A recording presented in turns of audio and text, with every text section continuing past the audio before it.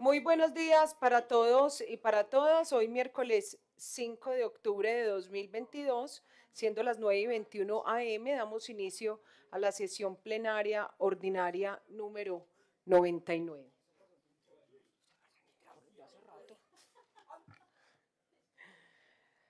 Un saludo muy especial para mis compañeros de la mesa directiva Sara Rincón y Juan Pablo Montoya, para mis compañeros concejales que hacen presencia en el recinto, para la doctora Paula y a todo nuestro equipo de trabajo, a Jimmy Collazos de Enviaseo, Ana Cristina Moreno, Hilda Montoya, Luis Fernando Arango, Viviana Valencia.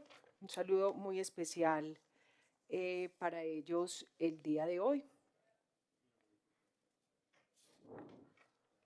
¿Dónde están pila los invitados?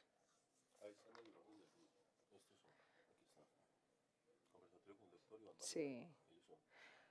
Un saludo también para el doctor Iván Barragán. Em, Iván Ernesto Barragán. Dani Vargas, Julián Castaño, que son nuestros invitados el día de hoy, nuestros expositores. Bienvenidos al recinto el día de hoy. Gracias por aceptar esta invitación del Consejo. Rápidamente les voy a hablar de la gallineta común o polla de agua. Es una especie inconfundible en su entorno. La coloración general de su plumaje es gris negruzco, con la cabeza y cuello más oscuros, salvo la zona de la cola que es blanca. Su pico es rojo, sus patas son de color amarillo verdoso con una mancha roja en las rodillas. Tienen unos dedos muy largos adaptados para andar sobre la vegetación acuática. Habita y se reproduce en ambientes de marisma, ríos y lagos con abundante vegetación. Globalmente, la gallineta común es una especie abundante clasificada como una especie bajo preocupación menor. Consume una amplia variedad de vegetales y pequeños animales acuáticos. Busca alimentos tanto alrededor del agua como en ella, caminando sobre los nenufares y otras vegetaciones flotantes o, sumergiendo medio cuerpo mientras nadan. Suelen ser asustadizas, aunque se pueden volver confiadas en algunas zonas. Durante la época de cría son territoriales, anidan habitualmente en el suelo junto al agua entre la vegetación densa. La hembra pone entre 4 y 8 huevos. Los nidos pueden ser reutilizados por varias hembras. Los polluelos tardan entre 40 y 50 días y una semana después se pueden volver independiente para criar su propia nidada al año siguiente. Cuando están amenazados, los polluelos pequeños pueden subirse a la espalda de los adultos y ellos volarán acarreándolos hasta ponerlos a salvo. Señora secretaria, sírvase verificar el quórum nominal.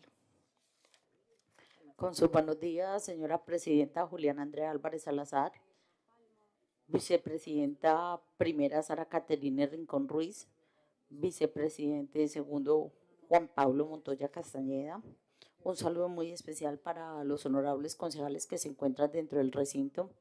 Efraín Echeverri Gil, Carlos Augusto Betancourt, Juan Fernando Uribe Restrepo, Leo Alessandra Alzate Suárez, Gonzalo Mesa Ochoa, José Luis Maldonado Sánchez, Bernardo Moracalle, Juan em, Carlos Manuel Uribe Mesa, Sergio Molina Pérez, Johnny Osvaldo Vélez Quintero y Paulo Andrés Restrepo Garcés. Un saludo muy especial para la rectora de la institución universitaria de Envigado, la doctora Blanca. Bienvenida al recinto de la democracia. Un saludo muy afectuoso también para Jimmy Collazos y para su equipo de trabajo, gerente de Enviaseo Envigado un saludo muy especial para las personas que diariamente nos siguen por las redes sociales, para las personas que también se encuentran en las barras y para el equipo del trabajo del Consejo Municipal. Señora Presidente, voy a proceder a llamar a lista. Juliana Asistencia, Juliana Andrea Álvarez Salazar. Un saludo también para la doctora Blanca, que Mauricio me la está tapando por acá y ya la, apenas la estoy viendo y no me la pasaron aquí tampoco en los saludos, me disculpas. Qué bueno tenerla por acá, bienvenida. Eh, doctora Paula, presente.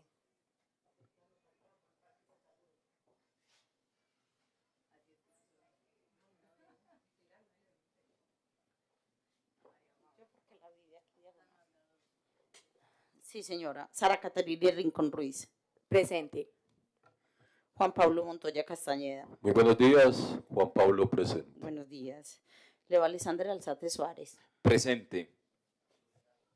Efraín Echeverri Gil. Buenos días para todos y todas. Efraín Echeverri Gil presente, señora secretaria. Buenos días. Lucas Gaviria Nao. David Alfonso Londoña Arroyave. José Luis Maldonado Sánchez. Buenos días, presente. Gonzalo Mesa Ochoa. Muy buenos días para todos, para todas. Presente, señora secretaria. Buenos días. Sergio Molina Pérez. Buenos días, presente. Bernardo Moracalle. Presente y buenos días para todos y todas. Buenos días. Carlos Augusto Osa Betancourt. Buenos días, presente. Paula Andrés Restrepo Garcés. Muy buenos días para todos. Restrepo Pablo presente. Buenos días. Carlos Manuel Uribe Mesa. Carlos Manuel Uribe Mesa, presente. Juan Fernando Uribe Restrepo. Muy buenos días para todos. Juan Uribe presente. Juan Carlos Vélez Mesa. Buenos días para cada uno de ustedes. Vélez Mesa, Juan Carlos presente. Buenos días. Johnny Osvaldo Vélez Quintero. Buenos días, presente, señora secretaria. Señora Presidente, con sus 15 concejales presentes, dos concejales ausentes, hay quórum para deliberar y decidir.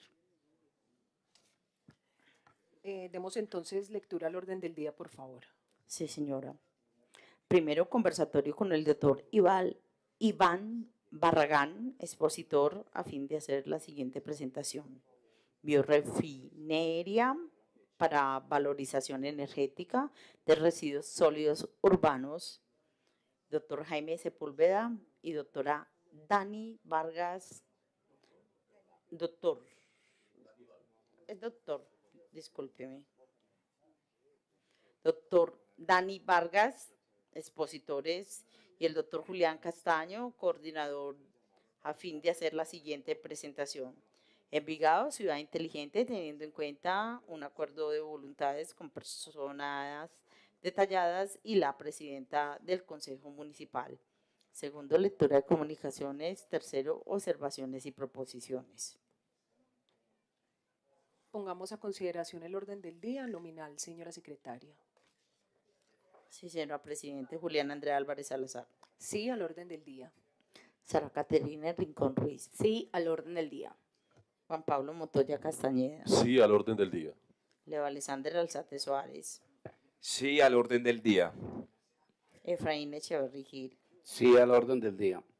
Lucas Gavirianao. Gavirianao Lucas presente y sí al orden del día, señora secretaria. Sí, señor. David Alfonso Londoño Arroyave. Buenos días para todas y todos. David Londoño presente y sí al orden del día.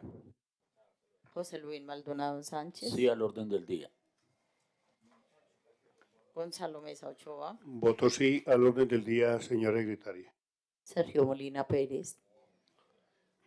Sí al orden del día. Bernardo Moracalle. Sí.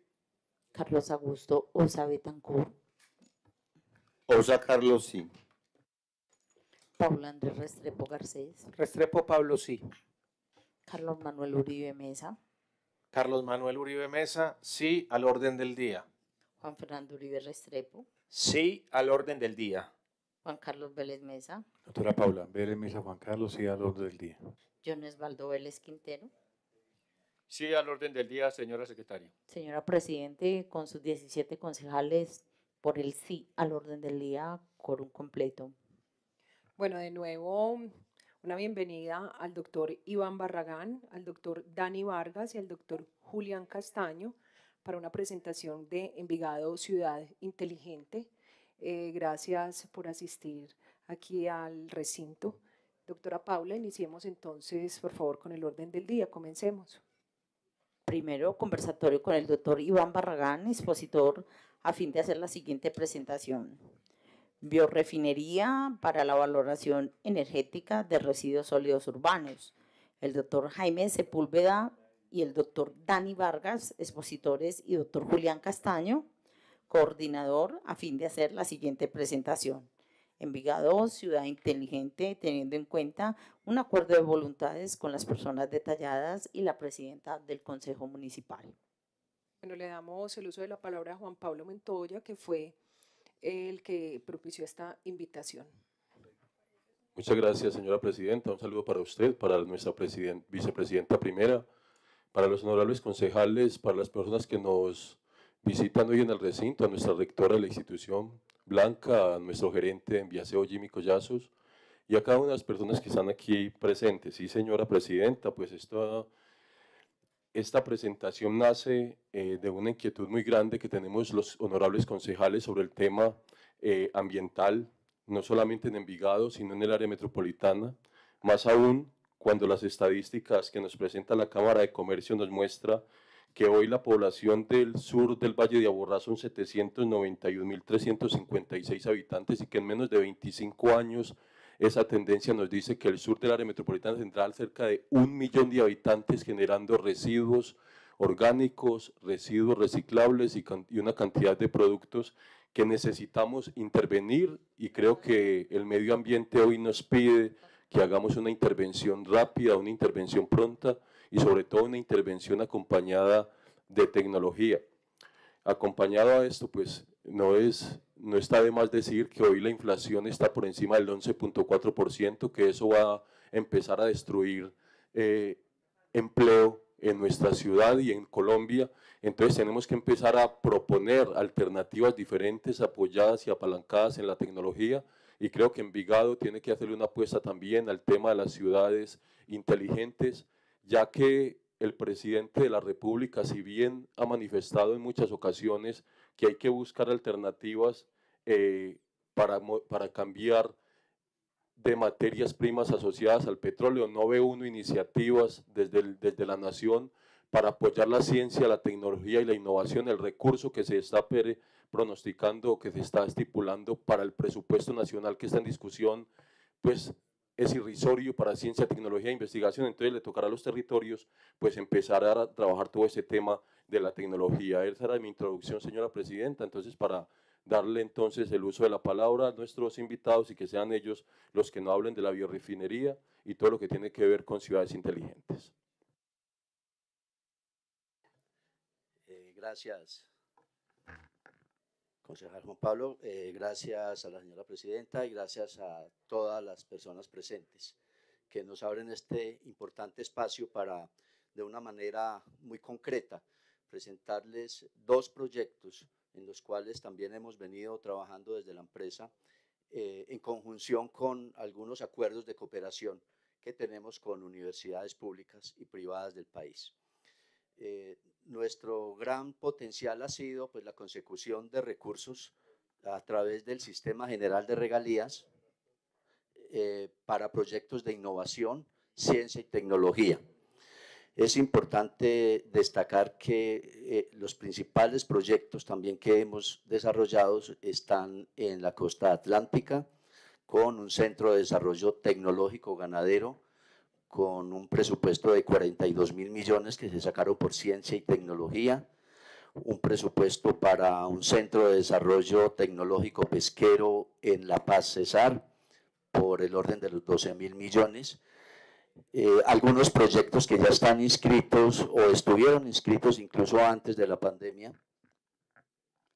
y que por efecto de lo mismo pues quedaron eh, suspendidos dado que eh, muchos de los recursos del sistema general de regalías se nos perdieron pues en el, en el tema de salud pública. Sin embargo, esos proyectos siguen vigentes y a partir de este momento pues vamos también a ponerle todo el, empeño y el empuje para sacar dos proyectos importantes, no solamente locales, sino nacionales. Y el primero tiene que ver con la valorización energética de los residuos sólidos urbanos y el segundo con ciudad inteligente. Me complace mucho entonces eh, abrir este espacio tan importante para darle la palabra al doctor Iván Barragán, eh, que es eh, la persona que mm, logró la patente de, de, es de invención, la patente de invención para eh, una biorefinería para la termovalorización de residuos sólidos urbanos. Y en segunda instancia, a, a nuestro amigo Dani Vargas, que va a tomar el tema de ciudad inteligente. Entonces, tiene la palabra Iván. Gracias. Bueno, muchas gracias, doctor Julián. Buenos días, honorables concejales, eh, honorable presidente, muchas gracias por la invitación, igual al concejal Juan Pablo Montoya.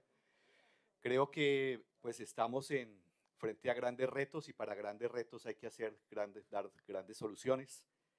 Eh, parece que todo se viniera en contra cuando uno ve estas cifras de inflación, de devaluación, de cambio climático, guerra, mejor dicho, hay todo lo que, lo que uno piensa pues se opone precisamente al, al tema de desarrollo, pero hay que buscar un desarrollo resiliente, un desarrollo basado en nuevos tipos de soluciones, algo que no sea convencional a lo que se ha venido haciendo, y aquí surgen estas oportunidades de innovación, algunas de las cuales pues no es, como dice la palabra, no hay nada nuevo bajo el sol, estos son tecnologías incluso que provienen antes de la era del petróleo y que han sido rescatadas hoy en día a raíz de que pues esa era del petróleo ya tiende a desaparecer y entramos de nuevo a, a buscar en soluciones sostenibles todo el tipo de, de solución a estos, estos problemas.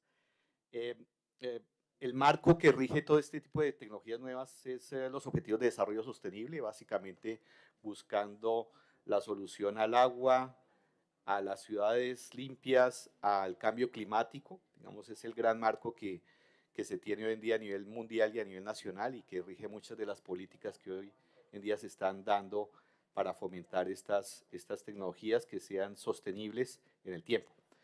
La siguiente, por favor. Eh, partimos de un problema ya medido aquí en Colombia. Eh, los estudios que realizó la Universidad Nacional la, la, con la Universidad Industrial de Santander, patrocinados por el Ministerio de Minas y Energía y la Unidad de Planeación Energética, ya hace casi una década mostraban que existen en el país alrededor de 80 millones de toneladas de residuos de tipo orgánico desaprovechadas.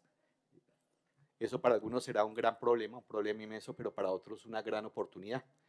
Aquí hay una minería nueva que se puede hacer alrededor de esos residuos, en donde existen muchas fuentes que, que los generan, tanto aparecen los residuos sólidos urbanos como los residuos agrícolas de cosecha, como los residuos de tipo industrial, los dos de plantas de tratamiento de aguas residuales, los de residuos de mercados, que todos tienen algo en común y es que son hidrocarburos.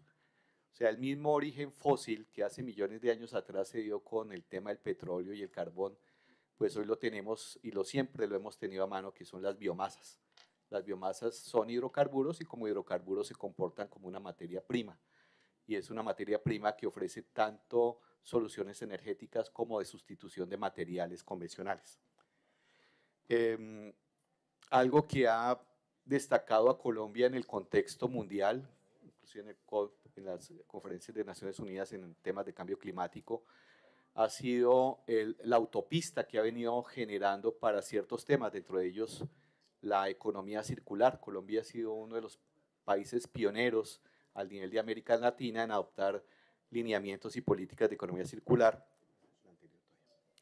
Eh, en esta política que se conoce como la ENEC, que fue formulada en el año 2019 y que hoy en día ya tiene algunas herramientas, se aprecian, digamos, los sectores que, que han venido trabajando en economía circular, que no es únicamente reciclaje ni eh, eh, va mucho más allá, es el buscar mantener cadenas de agua, de energía y de materiales en el mayor tiempo posible en uso. Esa es la filosofía de, de fondo. Hay una fundación a nivel internacional que es la L. MacArthur.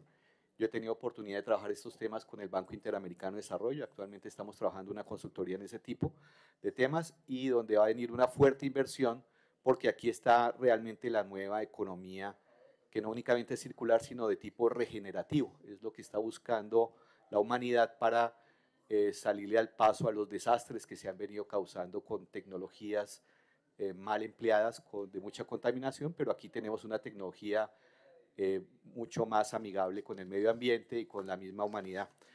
Vemos aquí las oportunidades que hay en, los sectores de residuos, eh, unos que ya vienen trabajando fuertemente hace tiempo, como el sector de los plásticos, digamos que la, franja en azul de este histograma marca es el, porcentaje de recuperación de materiales existente, y otras totalmente nuevas o donde hay mucho por hacer, por ejemplo el caso de los residuos de construcción, donde únicamente se aprovecha el 2%, o el caso de las biomasas residuales, que su aprovechamiento no llega al, 10, al 16%. Estamos hablando de transición energética, ahí está la energía, mucha la energía que vamos a requerir, energía descentralizada, energía eh, disponible a la mano de quienes tengan, digamos, estos, estos residuos que hoy en día son, son un problema. Eh, y hay otros sectores pues, que vienen trabajando fuertemente y donde la pregunta es, bueno, ¿dónde está esa tecnología? ¿Cómo podemos tener acceso a ella? ¿Cómo podemos eh, cambiar el enfoque actual de generar un pasivo ambiental para nuestros hijos y nuestras futuras generaciones enterrando residuos? Y frente a los retos de sustituir por energías más limpias, por materiales mucho más permanentes en su ciclo de vida, pues aparecen estas, estas fuentes.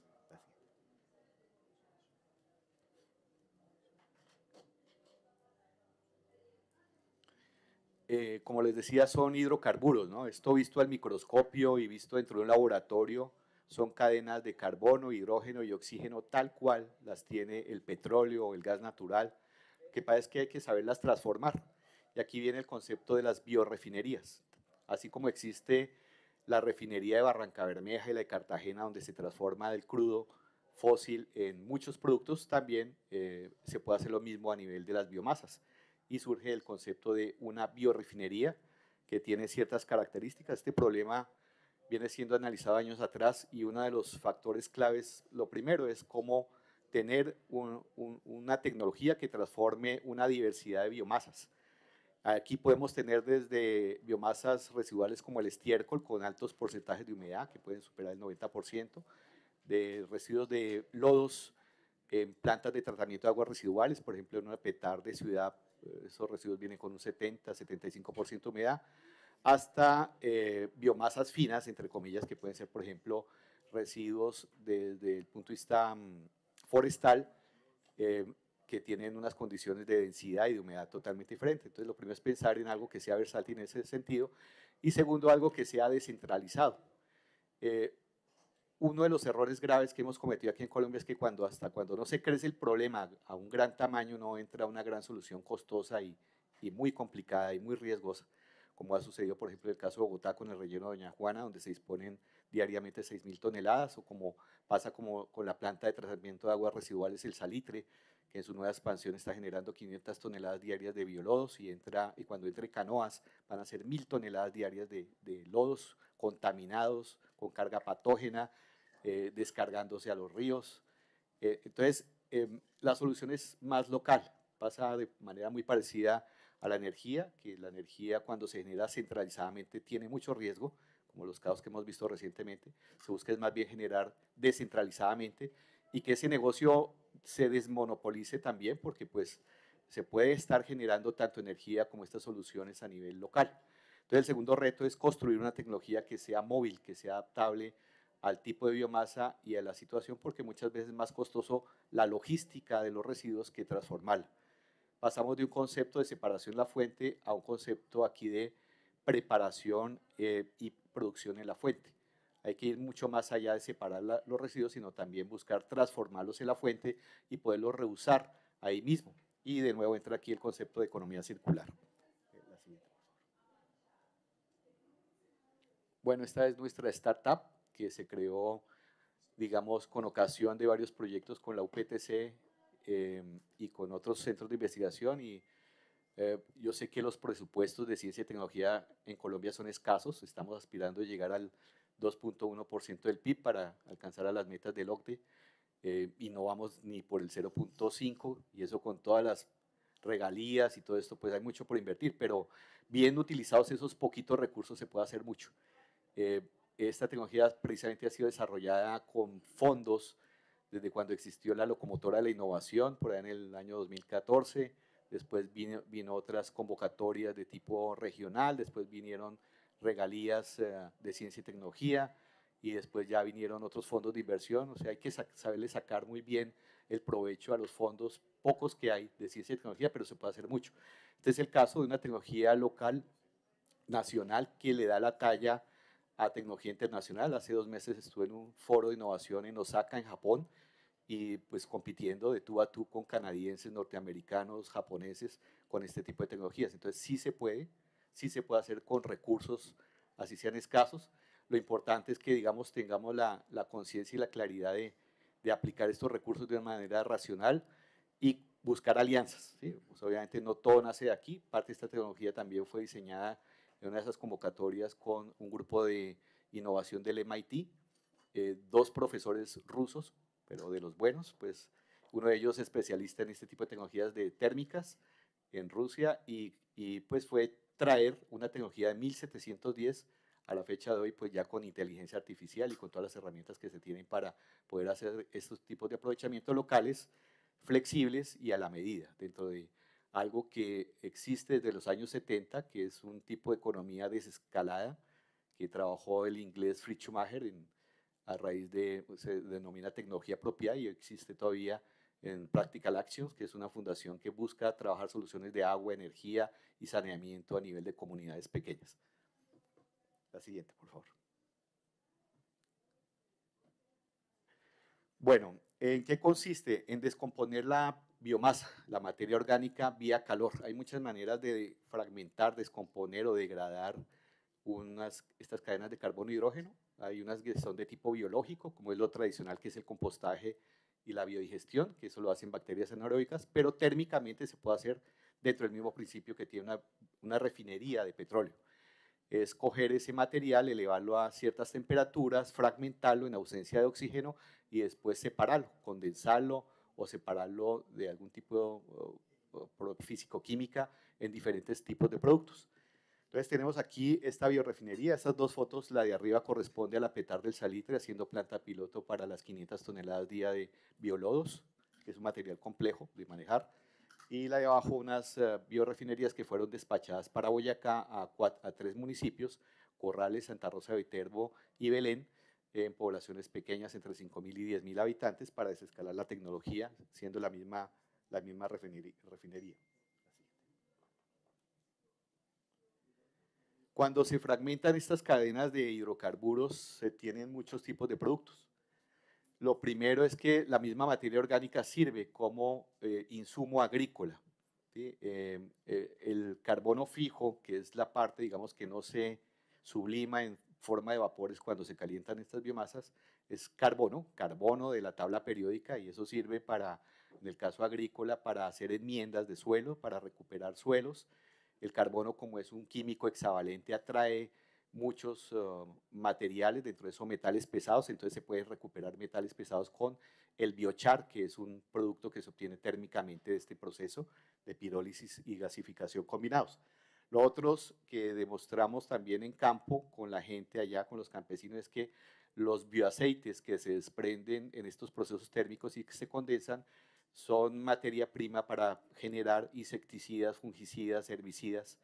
No sé si ustedes se acordarán, pues mi padre era ingeniero forestal y ellos inmunizaban con breas y con que se sacaban precisamente de las mismas maderas. Aquí es la misma tecnología, digamos, esos uh, bioaceites en sus diferentes eh, formas, porque eso trae alcoholes, acetonas, una cantidad de, de, de, de insumos, eh, se utilizan hoy en día eh, en forma, digamos, ya diluida para hacer abonos líquidos, en una proporción 1 a 100, 1, 1 a 1000, depende de la concentración con que salgan esos bioaceites del, de la refinería, de la biorefinería. Eh, y otros se utilizan, por ejemplo, el, cuando uno huele ese bioaceite es un tabaco reconcentrado. Está en, eh, también en el medio popular que cuando hay mucho mosco, pues uno fuma tabaco y el tabaco saca pues aquí tal cual, lo que hicimos probando también en el campo es que esto desde el punto de vista como insecticida, es un insecticida de tipo natural que también sirve y proviene también de, de estos, de estas plantas. Eh, como fungicida, pues está la aplicación en, las, um, en la parte de mallas que les mencionaba. Ese es un, un, segmento de qué hacer con lo que se genera con estas biorefinerías de tipo térmico. Otro segmento eh, son los eh, eh materiales desintoxicantes. El biochar, que es carbono puro, pues hoy en día ese carbono puro ustedes lo pueden ver aplicado a la cosmética y a la parte de salud. Cuando alguien se intoxica, lo primero que hacen es darle una pepa de carbono puro y eso absorbe todo lo que le haya caído al estómago. O cuando alguien está interesado en descontaminar un, a través de la piel, por ejemplo, hay detox de cosmética para cremas, para dentríficos. Hay muchos que hoy ofrecen en día como un componente el carbono y es muy, muy apreciado y es un mercado y es una forma de valorizar eh, con un muy buen valor el, el carbono que se genera acá.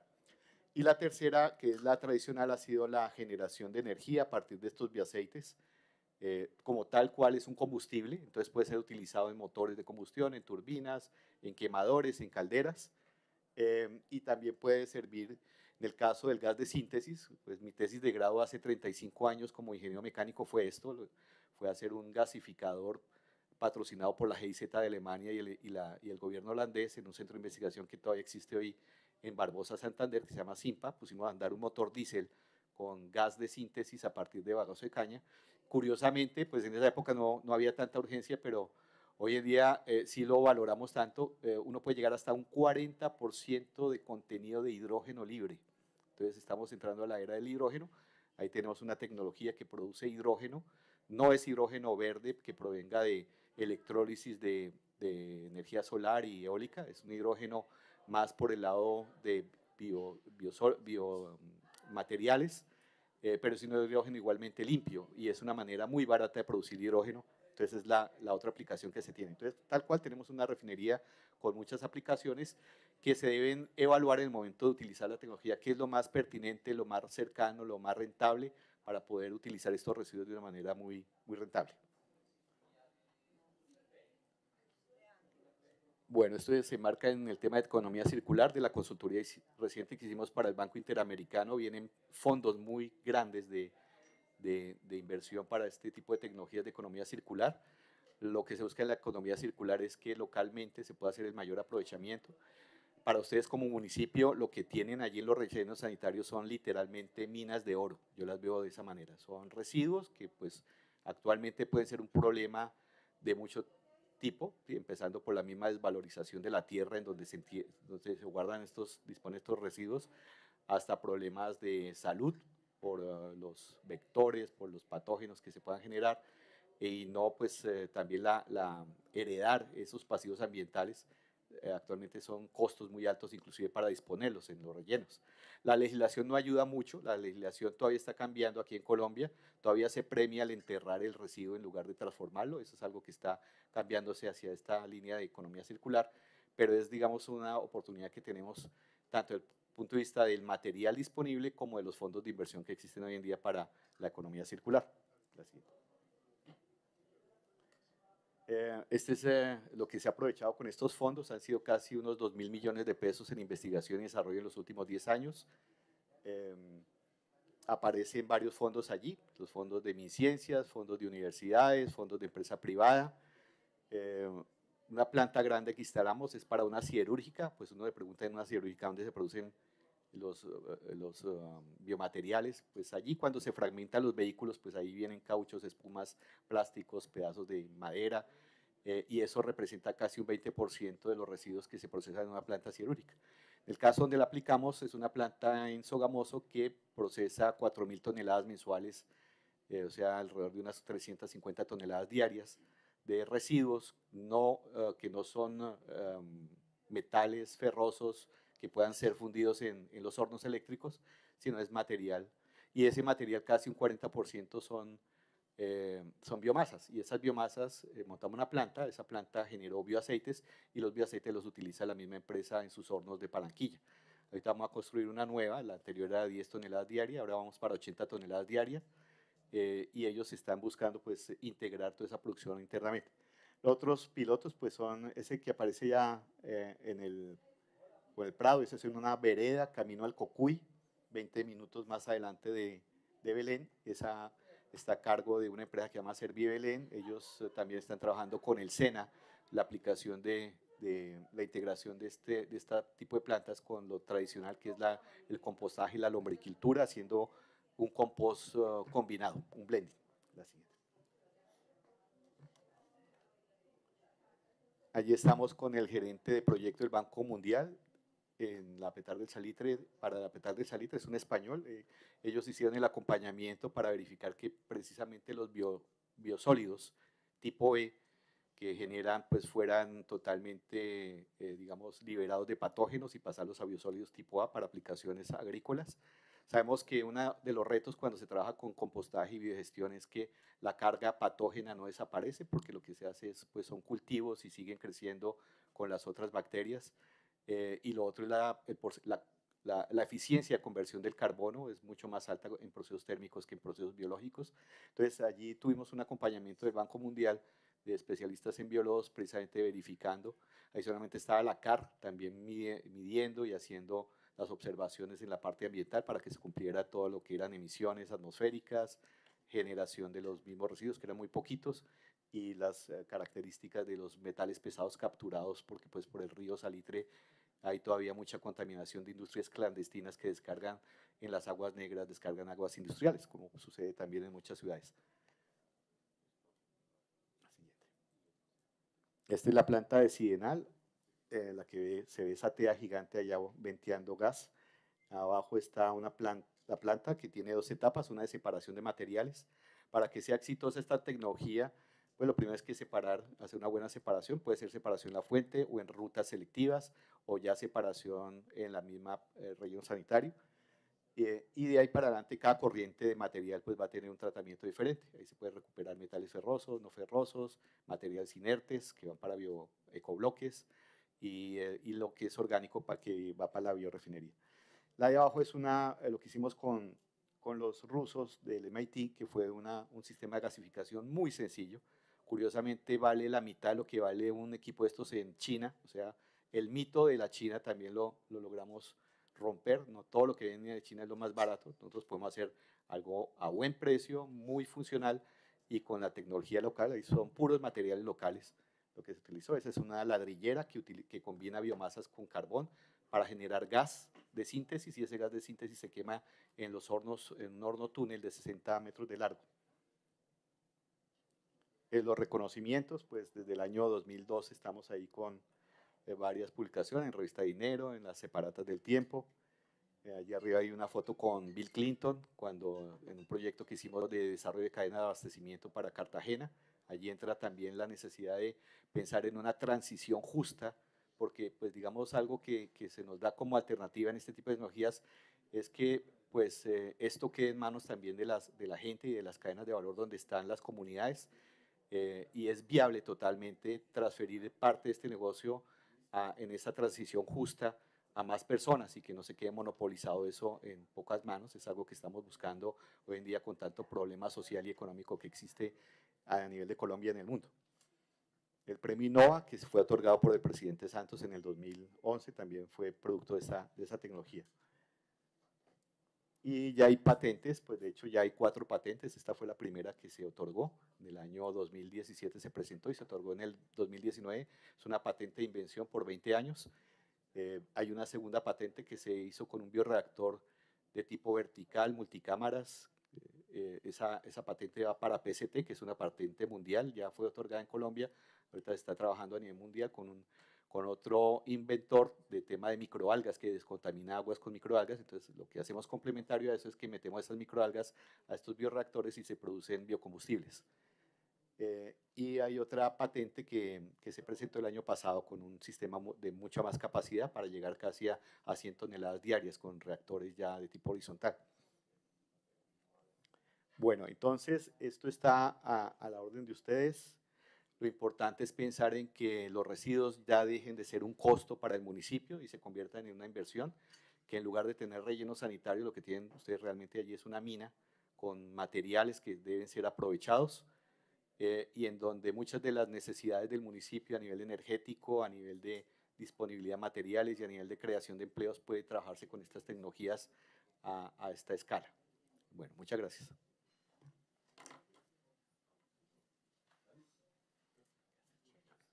Ahora, señora presidenta, el, Dani, el doctor Dani Vargas pues, nos va a hablar sobre eh, Smart Cities o ciudades inteligentes. Muchas gracias. Buenos días a todos. Eh, agradecerles por este espacio. Eh, el tema de ciudades inteligentes eh, puede sonar a veces un poco complejo.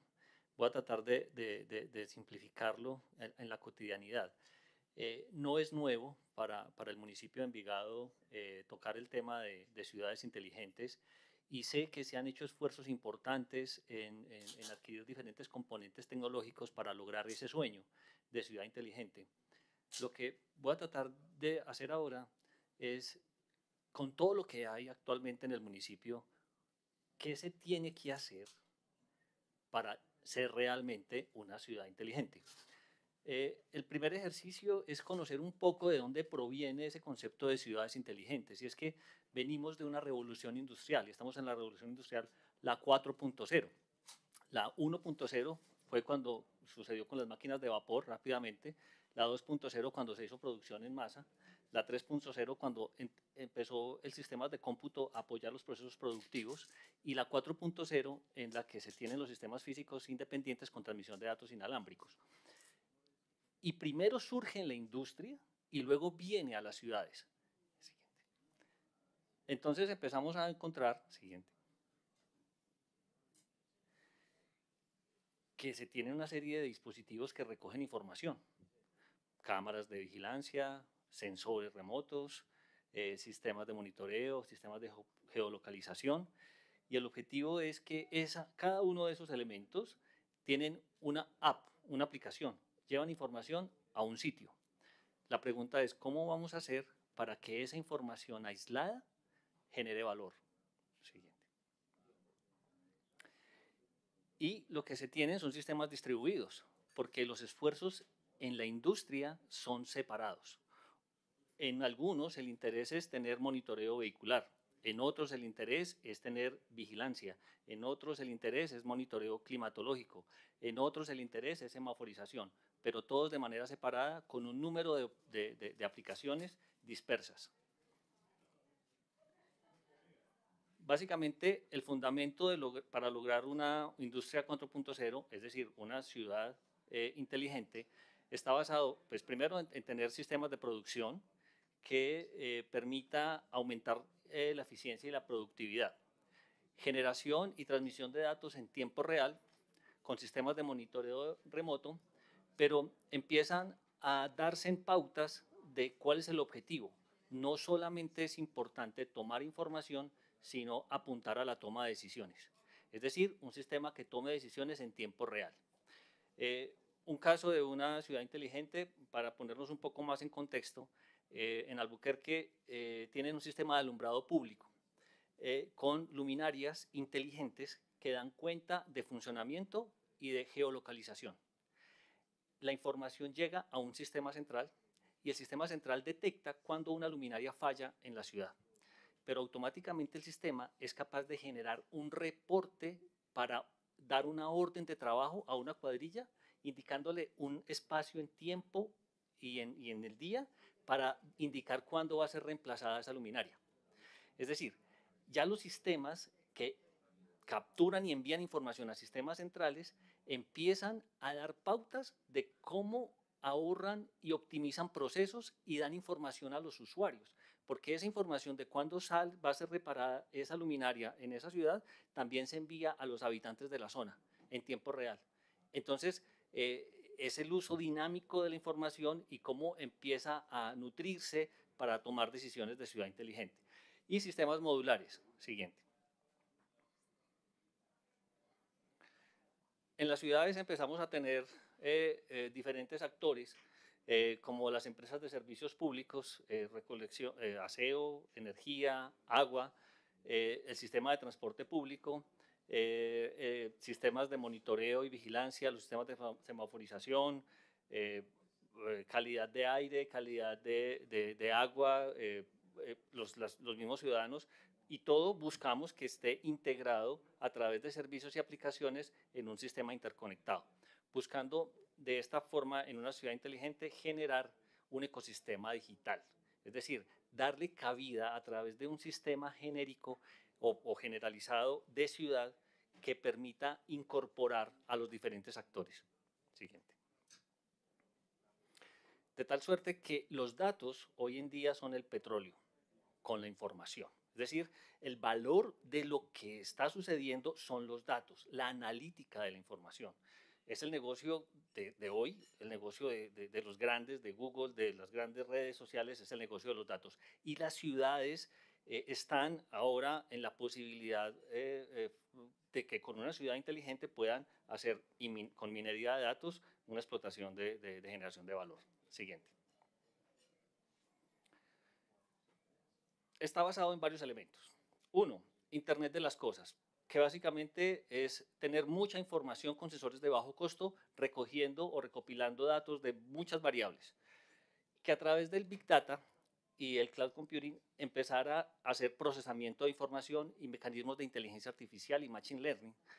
Eh, y entonces eso incorpora unos nuevos actores que son estas nuevas carreras que empiezan a surgir y, aprecio mucho ese vínculo que tiene el municipio con, las universidades y con los centros de formación, porque allí empiezan a desarrollarse una serie de aplicaciones que tienen un fundamento y un propósito de ciudad que buscan a través de la generación automática del conocimiento, la robótica, el análisis de los datos, generación de valor.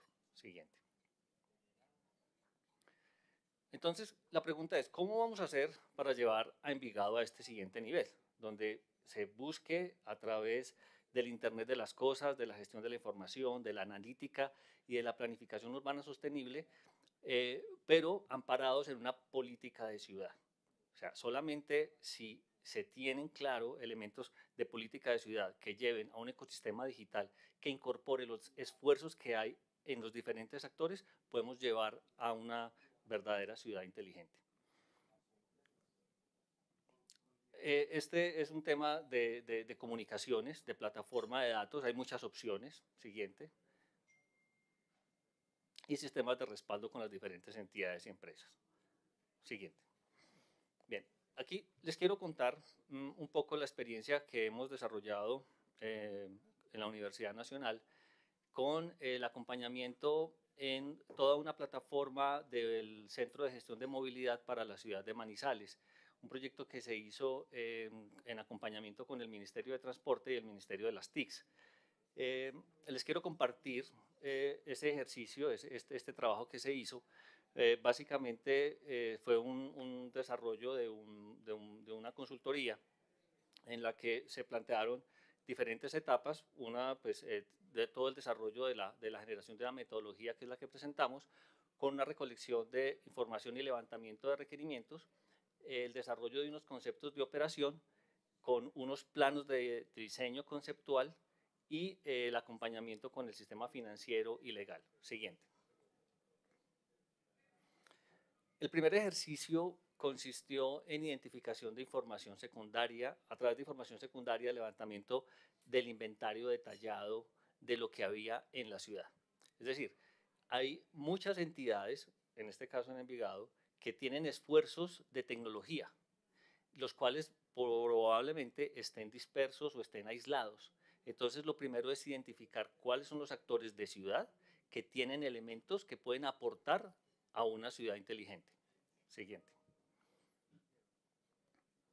Y construir técnicamente qué elementos eh, hay disponibles. ¿Esto con qué objeto? Pues una visión sería reemplazar toda la tecnología y llegar con algo nuevo. La otra visión es qué tenemos, qué podemos potenciar y qué podemos mejorar y qué podemos acompañar para que integrado en un ecosistema digital podamos usarlo y nutrir todo el sistema eh, inteligentemente. Siguiente. Llevar a tener un inventario detallado de, por, por entidades. Siguiente. Podemos pasar pues, un poco rápido y propuestas metodológicas como esta metodología en B, que es un modelo internacional para el desarrollo e implementación de tecnología, y aquí eh, identificar cuáles son los actores estratégicos de ciudad. En la ciudad, quienes intervienen en un programa de ciudad inteligente, pues, desde el municipio, el área metropolitana, los organismos de socorro, defensa, policía, eh, los ciudadanos, los, los biciusuarios, el sistema de transporte público, las empresas públicas, eh, agua, energía, eh, aseo, gas, cómo interactúan todos y cómo, y cómo eh, empiezan a, a, compartirse los centros comerciales, los parqueaderos, para empezar a dar información de valor en un tema de ciudad inteligente. Se desarrollaron los conceptos de operación, esto fue en acompañamiento pues, con, con el ministerio, de identificar en esas interacciones cómo se comparte información de valor, siguiente, y se hizo todo un levantamiento de requerimientos. Es decir, nos fuimos entidades por entidades y decir, mire, ¿usted qué le interesa? ¿Usted qué quiere? ¿Cómo se imagina usted? ¿Cuál es la perspectiva del desarrollo del proyecto? Siguiente.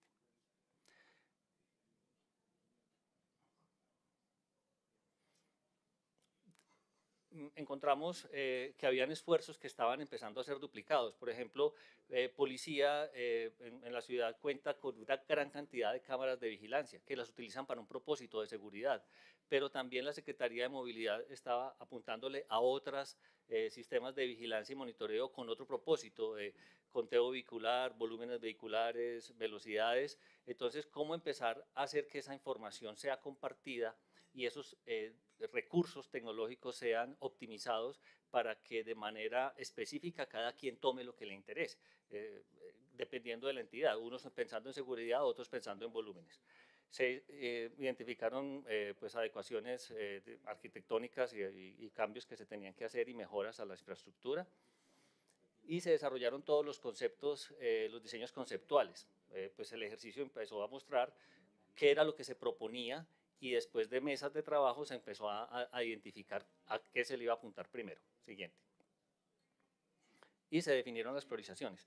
También se hizo un ejercicio con información que ya se tenía en el municipio, eh, donde se hizo eh, identificación de priorizaciones en intersecciones semaforizadas, donde se analizaron accidentes, comparendos, flujos vehiculares, velocidades y elementos ambientales, porque si bien hay necesidad de colocar instrumentos tecnológicos a lo largo de la ciudad para llevarla a ser inteligente, también había que identificar dónde estaban las priorizaciones, cuáles son las intersecciones que en Envigado son más importantes y más críticas por, eh, por históricos o antecedentes de, de, de, de accidentalidad o de, muertes o de, bueno, de todas las eh, eh, consideraciones, porque eh, es distinto y cuando se tiene un, presupuesto que no son ilimitados y se quiere eh, hacer eh, colocación de dispositivos de campo, pues hay que identificar cuáles son las prioridades, dónde se quiere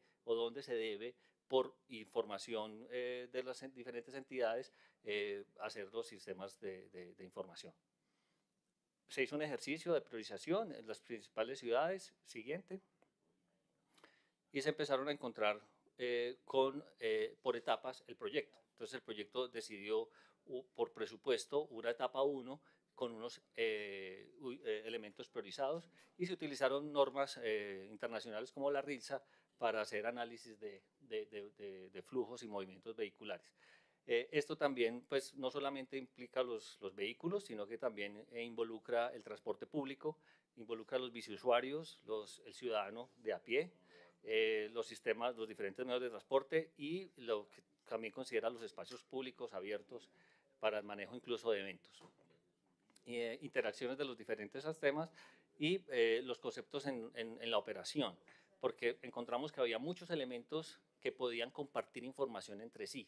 Entonces, antes de pensar en una nueva plataforma que recoja a todos, es cómo las plataformas individuales podían empezar a compartir información en un ecosistema que está siendo eh, manejado desde el mismo municipio.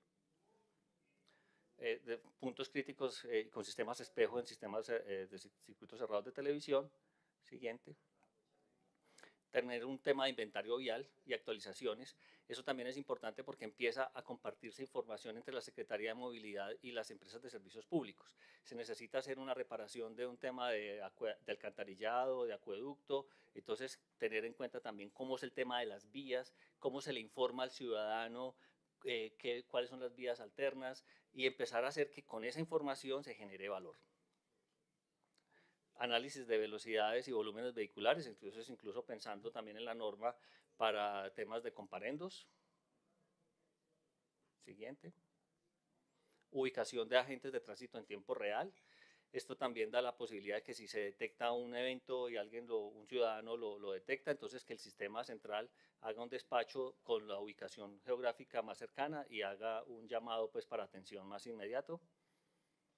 Eh, teniendo en cuenta también el eh, temas de material particulado, eh, calidad de aire, con estaciones de monitoreo ambiental y manejo de reportes, eh, integrando todo en un, en un, sistema, pasar de los sistemas manuales de levantamiento de requisitos a, a llevarlos a integrarlos al sistema central. Eh, integración también con unos temas de Internet de las Cosas, unas redes eh, LoRa que están también en la ciudad, que se incorporaron también al proyecto, y eh, información de actores viales a través de paneles de mensajería variable, BMS, donde se le daba eh, cuenta pues, al, al, al, al peatón, al, conductor, de lo que estaba sucediendo en, de, en, en el momento de la ciudad. Y eh, datos abiertos, con toda la política de datos abiertos a los ciudadanos y todos los temas de observatorios, los observatorios de ciudad, cómo se incorporan al proyecto y cómo se empiezan a, a nutrir de información. Siguiente instalación de, sistemas o de dispositivos de campo en puntos eh, priorizados.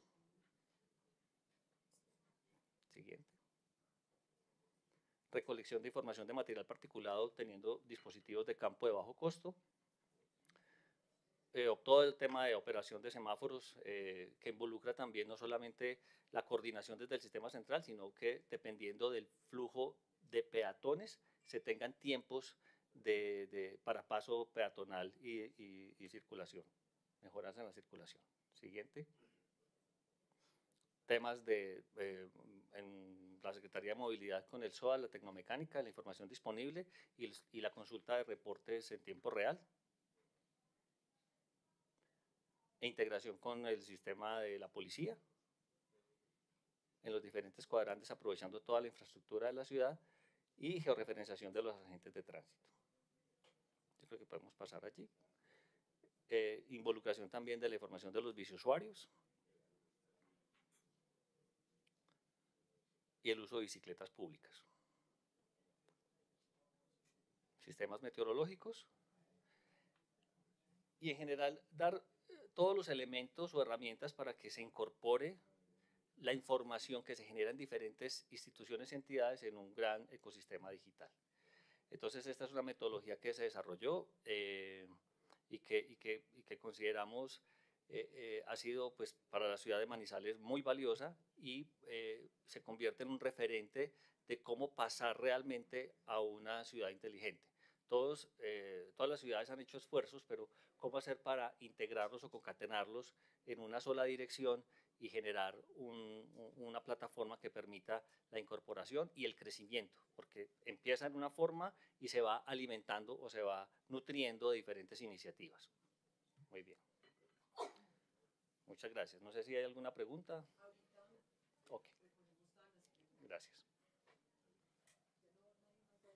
No, ya la intervención del doctor Dani, del doctor Iván y del doctor Julián. Agradecerles a ellos por por tener en cuenta Envigado como una ciudad en donde se pueda invertir tecnología, donde se puede crear una verdadera ciudad inteligente al servicio de los ciudadanos, que genere valor público y sobre todo que le dé alternativas de progreso y de bienestar a nuestra comunidad envigadeña. Ahora le damos el uso de la palabra a mis compañeros si tienen alguna pregunta, alguna inquietud para hacerles a nuestros invitados. El doctor Jimmy nos se encuentra acompañándonos, no sé si de pronto quiere eh, intervenir. Venga. Mientras tanto, le doy el uso de la palabra a Leo Alzate. Muchas gracias, Presidenta. Un saludo muy especial para las personas que están acompañándonos en las barras. A los invitados, muchas gracias por lo que nos traen el día de hoy. Una pregunta sencilla, profesor, que, que siempre, me siempre me sale cuando me encuentro al frente de estas iniciativas tan importantes de ciudad y es con el tema de la, del, del, del avance 4.0, ¿cierto? En Envigado hemos dicho y hemos apostado incluso porque nuestra educación sea 4.0 Sin embargo, siempre hay unos obstáculos bien importantes e incluso fundados y fundamentados en el hecho de que desde mi perspectiva no hemos abandonado o ni siquiera hemos terminado de adscribir, desarrollar, instalar el, desarrollo de, la revolución 2.0. Es decir, siento que, hemos, no hemos terminado de transitar por una revolución y ya estamos saltando a la otra. Entonces, ¿cómo se hace para que de alguna manera mm, dar esos saltos tan profundos no se convierta en un desgaste a sí mismo para las administraciones públicas? Vuelvo, insisto, pongo el ejemplo de la educación en Envigado. Hoy hablamos de educación 4.0, pero seguimos instalados en educaciones 2.0, ¿cierto? Porque es muy bonito las banderas, ¿cierto? Pero ¿cómo hacemos? ¿Cómo hacemos realmente para aterrizar esos discursos que no se nos queden en las iniciativas importantes, sino que realmente vayamos al, a realmente impactar? Eh, yo creo que hasta los mismos países hoy tendrían que estar haciéndose esas preguntas, ¿cierto? Porque eh, hablar de ciudades inteligentes va a implicar a sí mismo, pues, ir desacomodando un montón de, de, preconcepciones que ya han estado y que incluso a veces son difíciles de remover. Y yo, insisto que, que, todavía estamos muy metidos en la revolución 2.0 cuando el mundo hoy ya está incluso funcionando desde otras revoluciones. Eh, lo que hoy nos presenta, yo creo que Envigado ha hecho unos intentos muy pequeños por, por, por hacernos ver que estamos dentro de esa ciudad 4.0, pero yo insisto, todas esas iniciativas están quedando en, en, en la revolución 2.0. ¿Qué recomendación nos daría usted desde la experiencia que hoy también nos trae? Muchísimas gracias, señora presidenta, por el uso de la palabra. Doctor, Vamos a esperar si de pronto algún otro concejal eh, desea hacerle alguna pregunta para que le responda y después le damos paso a Jimmy. ¿Algún otro concejal? Le doy el uso a David Alfonso Londoño.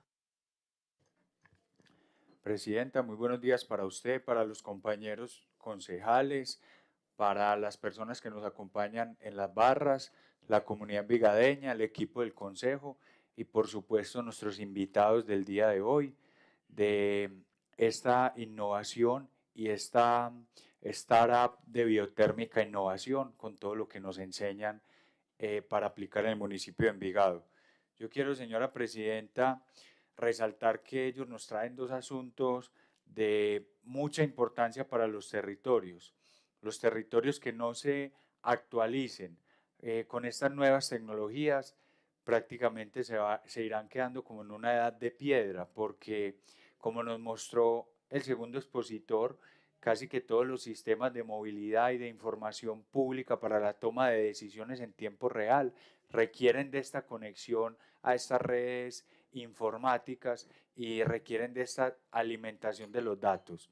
Entonces, yo tenía unas preguntas principalmente por parte de, de Iván y es el tema de estos biocombustibles. La pregunta concreta es si han visto o han hecho algún estudio de factibilidad o de prefactibilidad si en Envigado podríamos tener una planta de estas. También si tienen conocimiento, Envigado pues tiene un lote muy grande que en anteriores administraciones y consejos se hizo una apuesta por tener un, un relleno sanitario y un proceso de innovación medioambiental que hoy está clausurado y está cerrado, pero se cuenta con el terreno que queda cerca al municipio de, pues al sector de Armenia Mantequilla por Prado para arriba, en el Iconia. Entonces se podría pensar en una refinería allí, ya que este, este lote tenía como esta destinación medioambiental y de tratamiento de residuos. También, eh, principalmente en el tema de Smart Cities, pues hay mucho, pues nos mostraron unas innovaciones que tiene el, el municipio o o Manizales y que tienen también Medellín. Ya en Medellín vemos mucho de estas pantallas, de esta información enfocada en la movilidad. Yo he pensado en Envigado en dos puntos muy concretos. Aplicaciones de esto hay muchas, pero una es integrar el sistema de parquímetros a esto para que las personas sepan en su celular dónde pueden parquear y la administración tenga información de cómo se está comportando los parquímetros en el municipio, ya que cada vez más los vehículos ocupan el espacio público con el parqueo. Y segundo, es integrarlo como a, la, lanzar un programa ciudadano con las personas que utilizan la bicicleta, la movilidad en bicicleta o bicicleta eléctrica, para realizar mediciones del verdadero impacto que tiene la bicicleta eléctrica, el ahorro o, la menor afectación a la, a la huella de carbono, también la eficiencia en los viajes, la salud que se genera, porque a pesar de que sea una movilidad asistida por, por motores eléctricos, también genera un trabajo cardiovascular leve, pero genera un beneficio y un impacto en la salud. Entonces, básicamente ese tema de si en Envigado es viable tener un, una planta y también lo de Smart Cities y el Internet de las Cosas, pero en estos dos puntos que yo toco. Muchas gracias. Señor vice, ah, bueno, démosle el uso de la palabra al concejal Bernardo Mora. Eh, gracias, señora vicepresidenta. Un saludo para usted, para el compañero Juan Pablo, que es muy inquieto por esta temática. Saludo también para los concejales. Eh, saludo por allí a la rectora de la institución universitaria de Envigado, al doctor Jimmy, gerente de Enviaseo, al doctor Juan Gabriel, que por ahí también lo vi a todos los que nos acompañan en las barras y a mis compañeros concejales y, a, las, y a los invitados especiales del día de hoy. Eh, este tema ya ha sido tratado en este consejo en épocas pretéritas. Inclusive por acá trajeron unos especialistas de Harvard y todas esas vainas que daban muchas conferencias sobre los bonos de carbón, las termólisis, eh, el enriquecimiento que iba a tener Envigado con ese terreno del Guacal. Eso se, se pasó y se paseó por el Consejo y por la Alcaldía y se hicieron capitalizaciones eh, de todo. Finalmente, el terreno está ya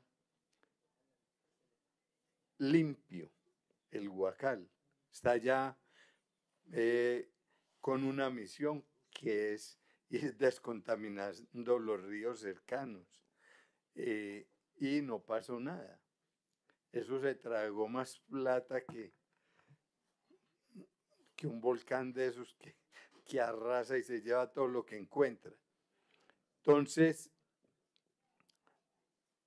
me parece muy bienvenido el tema y, y ojalá fuera algo que beneficiara al municipio después de tanta plata que hay enterrada ya en ese mejor dicho, si el terreno valió lo que se ha enterrado, yo no sé cuánto más vale que el terreno. Que pudiéramos recuperar siquiera lo que hemos invertido allá sería para Envigado, como que se ganara un baloto de esos grandes que rifan en Estados Unidos. Entonces, sería algo monumental. El tema es interesante y yo creo que es más bien como de expectativa que, que de, que de, decir pues que ya, ya esa es la panacea que por ahí es donde viene la, la próxima riqueza del municipio de Envigado. Ya el doctor Jimmy como administrador de, de esa de esa parte de, de enviaseo y creo que dentro de sus funciones quedó ese lote allá como un activo. Entonces, tiene también una herramienta que es la Universidad de Envigado que allá ahí se pueden conformar grupos de estudio que, que asesoren y, y le trabajen al tema. Porque lo que sí sé yo es que hay gente interesada en ese terreno. A mí el año pasado alguien me habló de que si lo llevaba ante el alcalde, que ellos querían como proponer por ese terreno. Finalmente eso no se concretó, como que no les daban los, los cálculos que estaban haciendo. Y ahí está, digámoslo así, esa posible joya de la corona.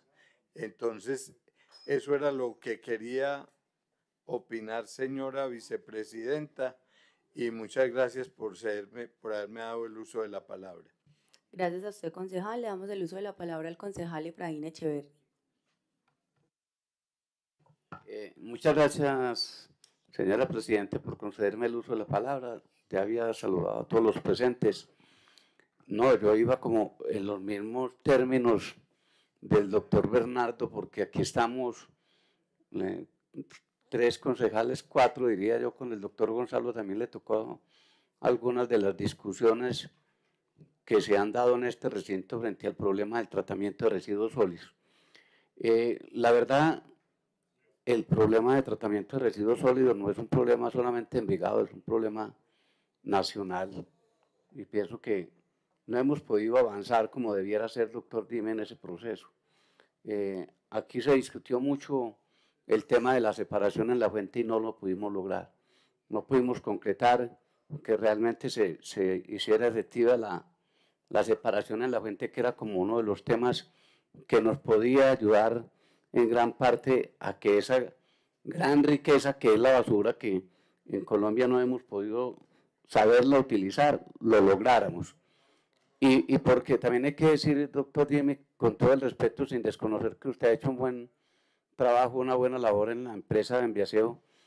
Eh, yo sí pienso que tenemos que hacer más educación, hacer más sensibilización frente a los ciudadanos con respecto a las basuras. Eh, la educación, eh, la cultura, por ejemplo, aquí ya siempre hablamos de la cultura metro, que fue un ejemplo para Antioquia y para el país. Y creo que tenemos que trabajar duro porque, es que la ciudad la ensucia la gente. La gente hoy no tiene ningún sentido de pertenencia por la limpieza de la ciudad. La gente en los negocios barre y tiran la basura a la, a la, a la acera, tiran la basura a la calle. O sea, hay que trabajar más en ese tema de la educación, ya que el tema, por ejemplo, de separación no lo hemos podido lograr, de separación en la fuente. Y frente a la propuesta que hoy nos traen, ojalá pudiera hacerse ojalá pudiera hacerse realidad. Yo no creo que hoy ninguna de, ni de nosotros los concejales que ya conocemos todo lo que nos ha pasado y de las administraciones de los alcaldes anteriores que ya han vivido experiencias muy difíciles con el tema del huacal, no le apuntemos a algo distinto ahora. No creo que estemos en condiciones de hacerlo, porque es, eh, aquí nos trajeron el tema de los termólices y nos dijeron, vea, eso en un año está funcionando, eso va a ser la redención total de los residuos sólidos. Y esa planta nunca funcionó. Después nos trajeron los famosos bonos de carbono, doctor Bernardo. Hasta nos les pusieron precio y todo cómo los íbamos a vender en el mercado europeo. Y instalaron pues las plantas para producir bonos de carbono y nunca pudimos conocer un solo bono de carbono. Eso recuerdo que nosotros dijimos que iba a ser no solamente la redención frente al tema de la recolección de residuos sólidos, el tratamiento de residuos sólidos, sino que económicamente íbamos a tener plata más de la que recaudamos por impuestos. Y aquí dijo un concejal, y tuvo razón, yo sí quiero ver los bonos de carbón, yo quiero comprar el primer bono de carbón, y nunca aparecieron los bonos de carbono. Entonces, ya no creemos, esa es la realidad. Yo personalmente hoy no creo en lo que me digan frente a cómo se hace el tratamiento de residuos sólidos hasta no ver dónde operan las plantas. Porque yo no creo que en Vigado se le vaya a medir a otro negocio con toda la plata y todos los desaciertos que tuvimos, como decía el doctor Bernardo, con la planta del Huacal. Es que allí hay mucho dinero enterrado, allí hay mucha plata que se invirtió, pensando incluso en que nosotros íbamos a ser los redentores del tratamiento de residuos sólidos del área metropolitana y terminamos fracasando. Estábamos convencidos que ese iba a ser el punto de redención de todo el área metropolitana. Aquí dijimos, no, eso va a ser para Envigado realmente la empresa mejor que se haya podido tener. Y resulta que fue la peor, fue donde más plata perdimos, hay que decir las verdades. Nos equivocamos todos, nos equivocamos. No, yo no, pues en, en mi concepto personal, no avalaría ninguna inversión hoy hasta no ver realmente cómo funciona, porque, no, porque lo que nos han traído no ha funcionado y no es una sola propuesta, han sido muchas, doctor Bernardo, las que hemos escuchado en este recinto y ninguna ha funcionado. Entonces, a ver dónde funciona. En México, por ejemplo, hay un joven que tiene una planta de tratamiento de residuos sólidos, un campesino que le dio por construir una planta y el año pasado la tenía ya a punto de, de ponerla a trabajar, a, Tal vez el doctor Dime la conoce, ¿cierto? Y, y tampoco funcionó, tampoco fue capaz de salir adelante. Y yo estuve en la planta y pensé que realmente esa iba a ser una alternativa definitiva, no solamente aquí en Envigado y en, y en Antioquia, sino en el país para, para solucionar el problema de los residuos sólidos. Bogotá tiene una problemática gravísima con el problema de residuos sólidos, grave, más grave no puede ser. ¿Y qué decimos de la costa? ¿Qué decimos de Cali? Eh, incluso Antioquia diríamos que es el que menos problemas tiene ahora con el relleno que tenemos de, de pradera. Pero en las otras partes del país estamos en una situación bastante complicada. Muchas gracias, señora Presidenta, por concederme la palabra. Ahora le damos el uso de la palabra a la vicepresidenta primera, Sara Rincón. Muchas gracias, señora presidenta. Un saludo muy especial para los doctores que expusieron hoy un tema tan importante para nosotros como concejales y toda la comunidad en general, a, a, la presidenta del Consejo Juliana Álvarez, a nuestro vicepresidente segundo Juan Pablo, a todos los concejales que siguen haciendo presencia en este recinto, a la rectora de la universidad, la doctora Blanca, a el doctor Jimmy, gerente de Enviaseo, a la doctora Paula de la Secretaría General del Consejo y a todo el equipo del trabajo. También un saludo muy especial para todas las personas que nos acompañan en las barras y nos siguen en redes sociales. Eh, le estaba contando yo ahorita a Juliana que actualmente estoy haciendo especialización en innovación y precisamente eh, parezco en clase, exactamente, eh, porque todos esos temas que ustedes expusieron hoy son gran parte de lo que veo alrededor de la especialización y nos han surgido varias preguntas porque de los ocho estudiantes que estamos haciendo eh, la especialización, solo dos trabajamos en el sector público. Y los que trabajan en el sector privado, prácticamente mucho de lo que hoy ustedes nos muestran, el Internet de las Cosas, eh, cómo integrar todos los sistemas, el sector privado a años luz desarrollándolo, ¿cierto? Pero entonces ahí es cuando trabajamos en el sector público y nos preguntamos qué pasa. Si tenemos profesionales, si tenemos universidades, si tenemos capacidad, ¿qué es lo que pasa con el sector público que no avanza a la velocidad eh, del contexto actual, de la dinámica de, la innovación que todos los días se presenta, porque Colombia aún sigue tan retrasada cuando hay países como Israel, van muy desarrollados en temas de innovación, que pues si uno lo ve culturalmente pensaría, bueno, pues podemos desarrollarlo. ¿Qué es lo que pasa con la educación? ¿Qué es lo que pasa con, con el sector privado, eh, con el sector público, con el Estado? que es tan, tan difícil innovar, ¿cierto? Es que es tan difícil integrarnos. Vemos pequeños esfuerzos o grandes en algunos momentos eh, de algunas dependencias, de algunos profesionales, de algunos alcaldes que le apuestan todo a, a innovar, pero el tema legal y financiero para nosotros es completamente complejo. Cuando nosotros aprobamos un proyecto de unas cámaras, nos demoramos seis meses y a los seis meses ya hay otras cámaras completamente mejores, con una tecnología mejor. Entonces siempre el mundo va a la vanguardia, lo privado va a la vanguardia, pero lo público siempre está unos pasos muy atrás, ¿cierto? Entonces ustedes, doctores, que hoy nos expusieron, que de cierta forma ya han venido trabajando, investigando eh, con el sector público, porque veo que han estado en Manizales, con Bogotá, eh, todo lo que han realizado, ¿cuál es la forma de integrar el Estado a la realidad actual y a las dinámicas de innovación que se requieren para poder llegar a ser unas smart cities? Porque realmente hoy tenemos una realidad muy importante con el mundo.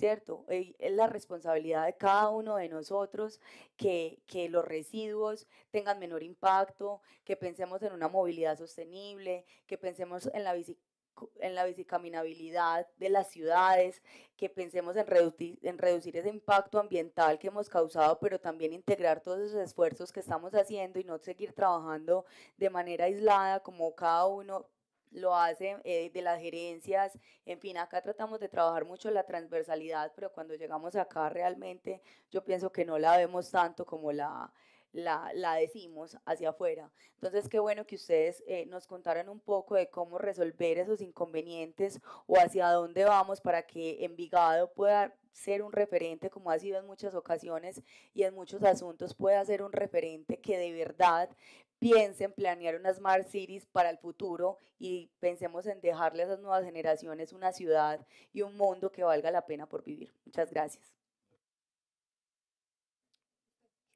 Ahora le doy el uso de la palabra al vicepresidente primero, Juan Pablo, vicepresidente segundo, Juan Pablo Montoya. Muchas gracias, señora presidenta. Nuevamente saludar de manera general a todos los presentes y, y decir que esta, esta presentación que se, que se trajo el día de hoy no se trajo Efraín o Bernardo con el ánimo de que el municipio la compre. Simplemente se trajo fue con hacer una presentación sobre los avances tecnológicos que se están dando en torno a los residuos sólidos y a los residuos orgánicos. Porque esa decisión depende exclusivamente del gerente Jimmy. Porque tendrá su equipo, no, pero, no mira así Jimmy, que no, se, no, se, asuste, que la intención no es, no, es que, no es que lo compre. La intención es que cuando se tome una decisión de estas, pues tiene que ser una decisión desde un punto de vista, tiene que ser eh, evaluado desde un punto de vista técnico, desde un, desde un punto de vista financiero, desde un punto de vista logístico, y eso no se está haciendo no se ha hecho como para decir que se va a tomar una decisión frente a la compra o no de una tecnología, en ningún momento.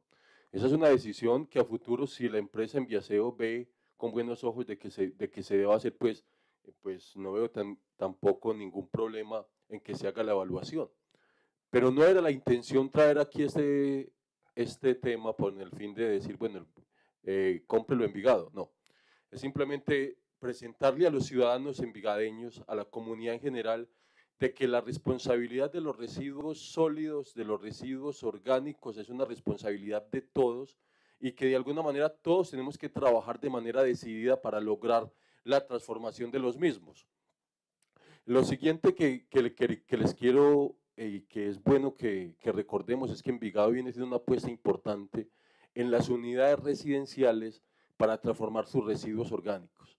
Y entonces esa también es una, una oportunidad para decirle eh, al secretario del Medio Ambiente que tenemos que mirar en el próximo presupuesto cómo apoyamos también esas iniciativas ciudadanas para la transformación de, residuos orgánicos que vienen trabajando de manera decidida en nuestras unidades residenciales. Yo les agradezco eh, a los honorables concejales por la atención que le prestaron a este tema, porque creo que es un tema de ciudad bien importante y agradecerle mucho a nuestra presidenta por permitir que a este espacio que a esta corporación, que a este residuo lleguen temas tan fundamentales, temas tan importantes de ciudad como esos que acabamos de presentar el día de hoy.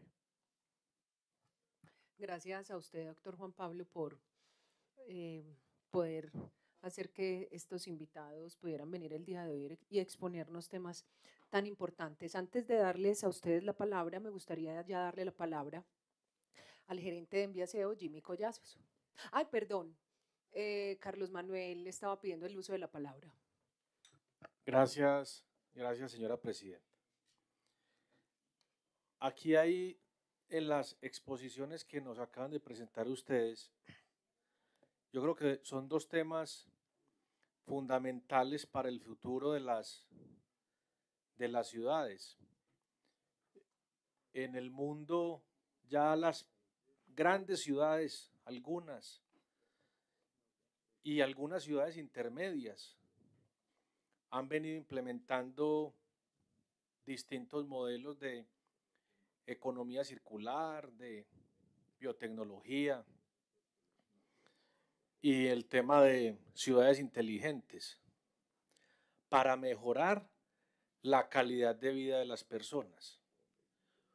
Uno de los grandes ejemplos eh, en materia, por ejemplo, de, de economía circular son algunos de los países europeos, Suecia, Finlandia incluso, Dinamarca en algunos aspectos, y en el tema de ciudades inteligentes, pues ni que hablar de los avances que se tienen incluso desde el mismo Israel, incluso Buenos Aires en Argentina ha hecho algunas modelaciones, algunas implementaciones en materia de ciudades inteligentes. En el programa de gobierno que yo construí como candidato a la alcaldía en las pasadas elecciones, estos dos temas eran importantísimos. Yo diría que sobre esos temas estaba basada gran parte de la columna vertebral del programa de gobierno. Y era migrar de unos componentes de inversión que históricamente ha tenido el municipio de Envigado, enfocados en infraestructura física, a otros modelos de crecimiento económico con mayor generación de valor. ¿Qué ocurre? Que son terrenos inexplorados. Y cuando yo tengo un pensamiento tradicional y conservador en materia de inversión y me ha ido bien, ¿para qué me voy a mover de ahí? Es un temor que existe hacia estos nuevos modelos de generación de valor social. Más rentables que el mejoramiento y construcción de infraestructura. Hoy vemos, incluso en nuestra misma ciudad, cómo nos sentimos orgullosos, y eso está bien, de decir que tenemos otro colegio. Remodelamos otro colegio. construimos otra infraestructura. Construcción, construcción, construcción, construcción. ¿Y con qué la vamos a llenar? Tenemos los elementos adecuados, los ciudadanos adecuados para esas infraestructuras que estamos construyendo. Se nos acaba el territorio para construir nueva infraestructura física. Muy bonita, claro que sí. Pero requerimos ya adaptarla a los nuevos entornos de carácter mundial. Economía circular, biotecnología, ciudades inteligentes. Yo creo que y entendiendo también la presentación de ustedes, es un espacio que hoy no tienen muchas ciudades de poderlos escuchar y de alcanzar a lograr entender la dimensión de lo que esto es. Es que Envigado hoy tiene la capacidad financiera de darse el lujo para ser la primera ciudad en el municipio, en Colombia, perdón, que pudiera ser una ciudad inteligente sin depender ni siquiera del gobierno nacional y que adicionalmente incorpore temas de economía circular a través de la empresa de enviaseo, que la tenemos, que aquí le llamamos también la joya de la corona en el municipio de Envigado. Si existiera una voluntad política, no necesariamente en esta administración, porque estamos ya culminando y porque eso tiene que estar en los planes de desarrollo, en los marcos estratégicos, en las líneas estratégicas, con presupuestos completamente determinados. Pero si yo puedo empezar a abrir el camino independientemente del que esté, gobernando o administrando el municipio, desafortunadamente no está la rectora, que me parece importantísimo que haya estado acá y que haya escuchado. Yo puedo hacer una gran alianza, lo decía ahora Sara. Universidad, empresa, Estado. Y puedo, independientemente de que eso se materialice en un proyecto, que podría ser contratado directamente por la administración si tiene el músculo financiero o a través de una asociación público-privada. ¿Cuántas ciudades hoy están generando en el mundo mayores ingresos por las nuevas fuentes de recursos que demanda hoy la diversificación y sobre todo Envigado, que vivimos desde el predial y vivimos de industria y comercio y se nos están yendo las grandes de industria y comercio para construir más prediales. Y entonces en un futuro, ¿qué vamos a hacer? El conocimiento y la gran fuente de recursos que pudiera tener la economía circular, temas de biotecnología o temas de ciudades inteligentes, permitiéndole a privados que vengan, inviertan, construyan la infraestructura y explotemos esas grandes autopistas de la información o todo lo que se puede hacer con la minería de datos, de lo que ustedes hablaron ahora, es incalculable. Incalculable. ¿Qué pasa? Que requiere voluntad política. Y para que haya voluntad política, la mejor manera es que los centros de pensamiento, los tanques de pensamiento, los equipos de investigación, y ahí tenemos la Universidad de Envigado, pudieran realizar un convenio, una alianza, incluso se puede incorporar también a la misma Cámara de Comercio, para que hagan, exploren cuál sería el modelo piloto para iniciar. Es que usted pudiera iniciar con Envigado como ciudad inteligente, con la parrilla central, con el fin de que los ciudadanos se sientan como en otra parte que les mejoró la calidad de vida. Frente a esto hay muchos temas y muchas cosas. Esa para mí es una gran oportunidad, Juan Pablo, acercar a estas personas con la universidad. El mismo municipio pudiera así realizar un contrato o un convenio para iniciar una fase de exploración con un modelo como el de Envigado, que nos permita abrir las puertas y posteriormente en un programa de gobierno de los que vengan y tengan la oportunidad de gobernar este municipio, de administrarlo y de gerenciarlo, lo incorporen en los planes de desarrollo. Y eso sería una cosa como también lo plantea eh, el concejal Leo, es que llegó la hora de que Envigado sea una ciudad de categoría mundial y tenemos todo. Ya está el tema de la ciudad del aprendizaje de UNESCO, que eso le han dado un vuelo a nivel nacional también. Entonces, yo creería, Juan Pablo, que si usted, como abanderado del tema que ha traído estas personas con dos temas tan importantes, tan interesantes, se sientan en una mesa con la rectora de la universidad, con el alcalde, con la presidenta de la Cámara de Comercio, si lo consideran, y con un equipo de investigadores pudieran hacer incluso un match entre el tema de ciudades inteligentes y de economía circular y de biotecnología, que estoy seguro, cuando lleguen los resultados, eso va a ser una cosa que va a generar un cambio totalmente profundo en la calidad de vida de los envigadeños. Muchas gracias, señora presidenta. ¿Algún otro concejal para darle entonces el uso de la palabra al doctor Jimmy? Dale, Jimmy. Prendelo. Sí. Buenos días, todavía. Un saludo a, la doctora Juliana, nuestra presidenta, la vicepresidenta primera, la doctora Sara, al ingeniero Juan Pablo, vicepresidente segundo, a los que expusieron ahora, a los doctores Dani Vargas, Julián Castaño, Iván Vergara, y a todos ustedes concejales. Pues la verdad venía a escuchar, pero cuando me preguntan si quiero hablar de residuos sólidos o de Smart City, siempre.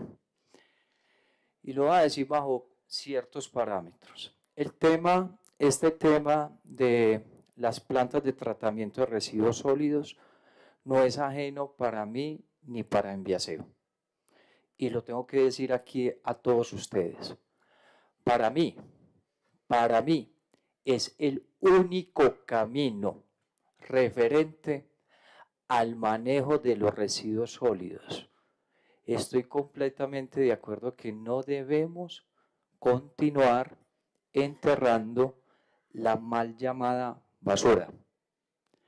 Pero también hay que decirlo, estas son posturas de ciudad, de área metropolitana, de gobernación de Antioquia y también de Colombia. Pasados años, tuve la oportunidad de hablar con asesores del el presidente, expresidente Iván Duque, preguntándome si nosotros como municipio estábamos interesados en una planta de tratamiento de residuos sólidos. Claro que estamos interesados. Claro que sí. Él lo único que pedía era los residuos sólidos de Envigado. Y yo le dije, doctor, ¿dónde se los pongo? A un buen precio y que los costos sean moderados. Porque la empresa tiene que generar también riqueza. Fueron dos conversaciones y ahí quedó el tema. También he tenido la oportunidad con varios profesores que me dicen que quieren hacer estos acercamientos y les digo a todos, bienvenidos. Estoy interesado. Yo sé a ustedes que les interesa que nosotros le entreguemos los residuos sólidos y lo podemos hacer. Porque hay algo cierto de lo que dijo ahorita creo que fue el doctor Iván Barrera, de que, eh, Iván Ibargüen, ¿cierto? De que si hay un monopolio, y hay que decirlo, hay un monopolio, pero ese monopolio no es de Envigado, ese monopolio no es de Enviaseo, ese monopolio es de Medellín, y hay que ponerle nombre sin temor alguno. ¿Quién es el dueño de Envarias? Eh, ¿Quién es el dueño de Pradera? en varias. ¿Quién es el dueño de varias? EPM. Es que necesitamos, sí, una postura de área metropolitana referente al manejo de residuos sólidos, pero ellos no se van a poner competencia, ni van a querer invertir, porque este tema ya lo he hablado en varias ocasiones. Yo voy a poner una planta de tratamiento de residuos sólidos montándole competencia pradera. Ojalá y doctor Carlos Manuel, totalmente identificado. Es una postura política, sí, pero de área metropolitana. Porque una planta de tratamiento grande se puede llevar 50, 60 millones de dólares. No estamos hablando de algo pequeño. Envigado en este momento aproximadamente está sacando 6 mil toneladas al mes. Para tener una planta de tratamiento de residuos sólidos tiene que tener una cantidad de toneladas para estar en el punto de equilibrio. Si no, no les va a dar. Y estoy, identificado, estoy identificado, se necesita una APP o que lo haga el área metropolitana y que nos diga a todos, porque no es solamente área metropolitana, no es solamente los 10 municipios, sino que en Pradera también va el suroeste. También van otros municipios, Santa Fe, Antioquia, va Pradera, imagínense sí la necesitamos, pero desde una postura de ciudad, una, postura departamental y nacional. Entonces, bienvenido para mí. Yo soy ingeniero electrónico y abogado, amo la academia y estos proyectos tienen que comenzar a causar mella. Pero hay que hablar también de esas piedritas que tienen, porque ahí es donde se nos van quedando. Mire, vea, en Jimmy, ¿Usted está de acuerdo con el reciclaje? 100% hay que reciclar. Es una forma de salvar el planeta, nuestra ciudad. Ahorita el doctor Efraín, no hemos fracasado. Lo que pasa es que no tiene la velocidad que uno quisiera. 2020, 20, 1150 toneladas. 2021, 1583 toneladas de reciclaje. Lo que llevamos de este año a agosto, 1751. Créame, vamos a subir a las 2000 toneladas. Pero ya viene el cuestionamiento. A las empresas como Enviaseo u otras, de acuerdo a la tarifa, de acuerdo a la tarifa, el reciclaje va en contra de las finanzas de la empresa. Por eso le envié un común oficio al ministro y a la superintendencia a decirle, estamos de acuerdo con el reciclaje, pero por favor, si se sigue haciendo tanto reciclaje, la factura baja.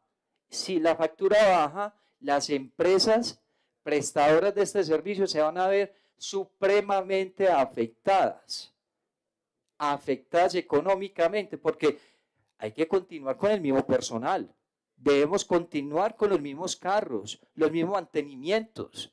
Entonces ya viene la postura a nivel nacional. Creo que sí se debe hablar y lo tenemos que llevar a nivel nacional para que tengamos una postura clara, concreta. Colombia, Medellín se merece una planta de tratamiento de residuos sólidos, no por un municipio, sino por todos los municipios. Y lo que tengan, todo lo que necesiten de envío, cuenten conmigo. Si hay que ir donde tenga que ir, cuenten conmigo. Pero reitero, hay que meter en este cuento al área metropolitana, a la gobernación de Antioquia y a Colombia. Referente a eso lo quería dejar claro porque sí lo hemos tocado, no hemos sido indiferentes. El otro tema de Smart City, ustedes hace ya año y medio nos dieron la oportunidad a Enviaseo por una figura de desconcentración de comenzar a trabajar el tema de, alumbrado público. Para este año, 100% Envigado en LED. Primer municipio del área metropolitana en LED. Sé que es simplemente el cambio de una tecnología a otra. Sabemos los beneficios. Pero en este momento estoy ya en pruebas pilotos, poco a poco, con telegestión. Con lo que usted decía, doctor, de que las lámparas me muestren si están prendidas, apagadas, dañadas. Hemos venido avanzando con el tema. Pero lo que es claro para mí es que tengo que dejar 100% en LED Envigado, ni una lámpara de sodio. Y el próximo año darle más fuerte a ese indicador que no está dentro del plan de desarrollo, pero que sí es un indicador de vida, de gestión ambiental, que es la telegestión van a saber de eso. Ya lo estoy trabajando en pruebas pilotos y el próximo año vamos a trabajar todo el tema de expansión, que no se quede un lugar de Envigado oscuro. Venimos avanzando y de nuevo les digo, cuenten conmigo, es el camino, pero esto tiene que ser a nivel departamental, área metropolitana y a nivel nacional. Envigado solo, solo no le queda para hacer una inversión en una planta de tratamiento de 50 mil, 60 mil dólares, como me hablaban. Y viene otro problema, que hay que ponerlo ahí. ¿Dónde en Envigado? ¿Dónde? El POT no lo permite y fuera de eso, ¿dónde? Porque Envigado ya está muy, muy poblado. Ahora me dicen, en el Huacal, allá tenemos 298 hectáreas, pero uno de los problemas trascendentales del Huacal era la vía la vía. Se saca la licencia, eso ya será un tema con Corantioquia, bueno, en fin, pero hay un problema de vía grandísimo para llevar los residuos sólidos al Huacal, porque una de las quejas era este municipio, la, Estrella, no, el Iconia no, la estrella, que todos los carros tenían que pasar por el parque, porque no había otra vía. Doctor Johnny, usted le toca el tema. San Antonio de Prado. Entonces, ahí no es simplemente que tenemos un lote de 298 hectáreas, que el municipio de Envigado es dueño del 86% y Enviaseo del 14%. Estamos haciendo también acercamientos con empresas privadas porque queremos montar la primera granja solar pública. Ya ha ido varias empresas a medir la radiación, bueno, en fin, no nos hemos quedado quietos. Eso es lo que yo quería contarles, doctora Juliana, y a cualquier inquietud les daré las respuestas pertinentes. Muchas gracias. Muchas gracias, doctor Jimmy, por su intervención. Ahora sí, le doy el uso de, la palabra a nuestros invitados. Muchas gracias. Eh, eh, yo agradezco las preguntas. Yo pienso que la puedo, se puede resolver eh, en dos aspectos, planeación y educación. Eh, atendiendo a la primera pregunta, en educación, porque es que hoy día los niños, los jóvenes son nativos digitales. Ellos nacieron ya con el chip digital. Otros, como yo, nos quedamos rezagados. Y entonces necesitamos apelar a educación. De nada nos ganamos en Envigado con las Smart City más poderosa si no tenemos educada a las personas, a los ciudadanos que son los que la van a usar. Entonces tiene que ir muy de la mano con el tema de educación, pero no podemos quedarnos en, en la revolución anterior, tenemos que estar en la actual. ¿Y cómo estar en la actual? Con planeación precisamente es esa participación conjunta entre la universidad y precisamente por eso el discurso del proyecto que les traje fue la Universidad Nacional que como universidad pública y como universidad ha congregado eh, profesionales de alto nivel que han llevado a generar desarrollo y soluciones de una metodología que busca encontrar eh, la mejor ecosistema digital que genere una plataforma que permita incorporar iniciativas como de viceusuarios. Entonces, no es un elemento aislado. El viceusuario, listo, si fuera un elemento aislado, se desarrollaría un proyecto que sería viceusuarios u otro proyecto que sea parqueadero. Pero si tenemos una, un ecosistema digital, una plataforma de iniciativa del municipio que le dé acogida a diferentes iniciativas, pues aún se va a desarrollar de forma más efectiva y a un costo menor. Porque si se tiene una misma plataforma, la incorporación de un parqueadero o de la información de los parqueaderos, pues va a ingresar por la misma vía, garantizando incluso la ciberseguridad.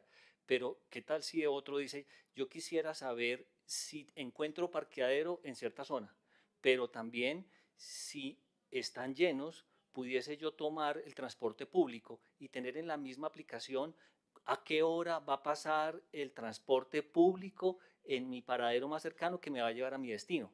Entonces, esa plataforma va a ser congregada y conjugada con otros actores de tal forma que sí sea una ciudad inteligente.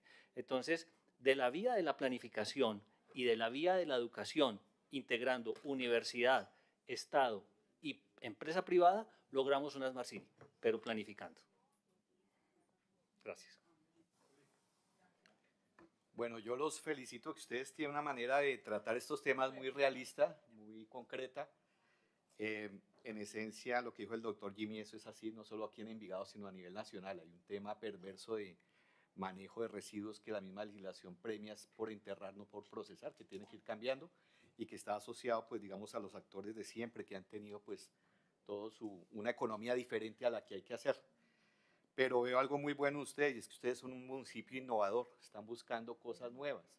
O sea, los problemas pueden seguir ahí o crecer, pero las cosas hacerlo diferente. Si no funcionó antes, pues miremos otros tipos de soluciones que, que sí funcionen. Frente a eso me paro del lado de cuando he sido consultor de Banco Mundial y Banco Interamericano y efectivamente una inversión de este tipo no es sencilla, no es inmediata, no es fácil los estudios de prefactibilidad, factibilidad, llegar incluso a presentar esto a un sistema general de regalías a nivel 3, exige una preinversión.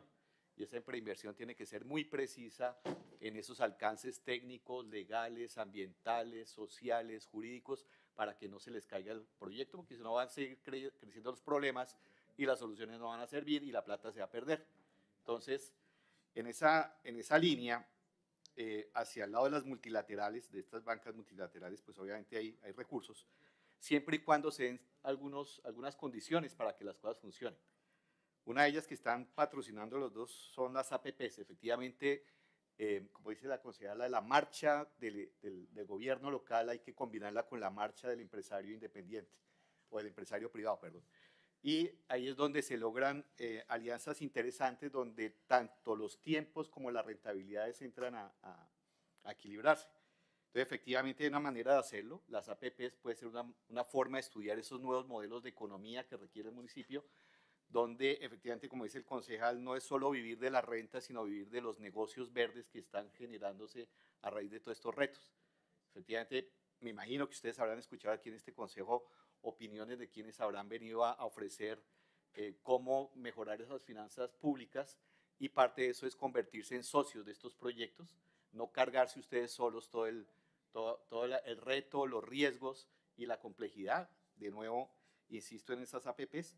Hay un cuarto actor que no lo mencionaron, que es clave, clave, clave en este momento, y es la sociedad civil, la, la gente, las comunidades, las asociaciones, las ECAS en el caso de los residuos, que son los recicladores. Es no pasar el negocio de, de, de, recuperar materiales de una mano a otra sin dejar oportunidades y sin hacer una transición justa. Parte de la problemática que tenemos hoy en el país es por eso.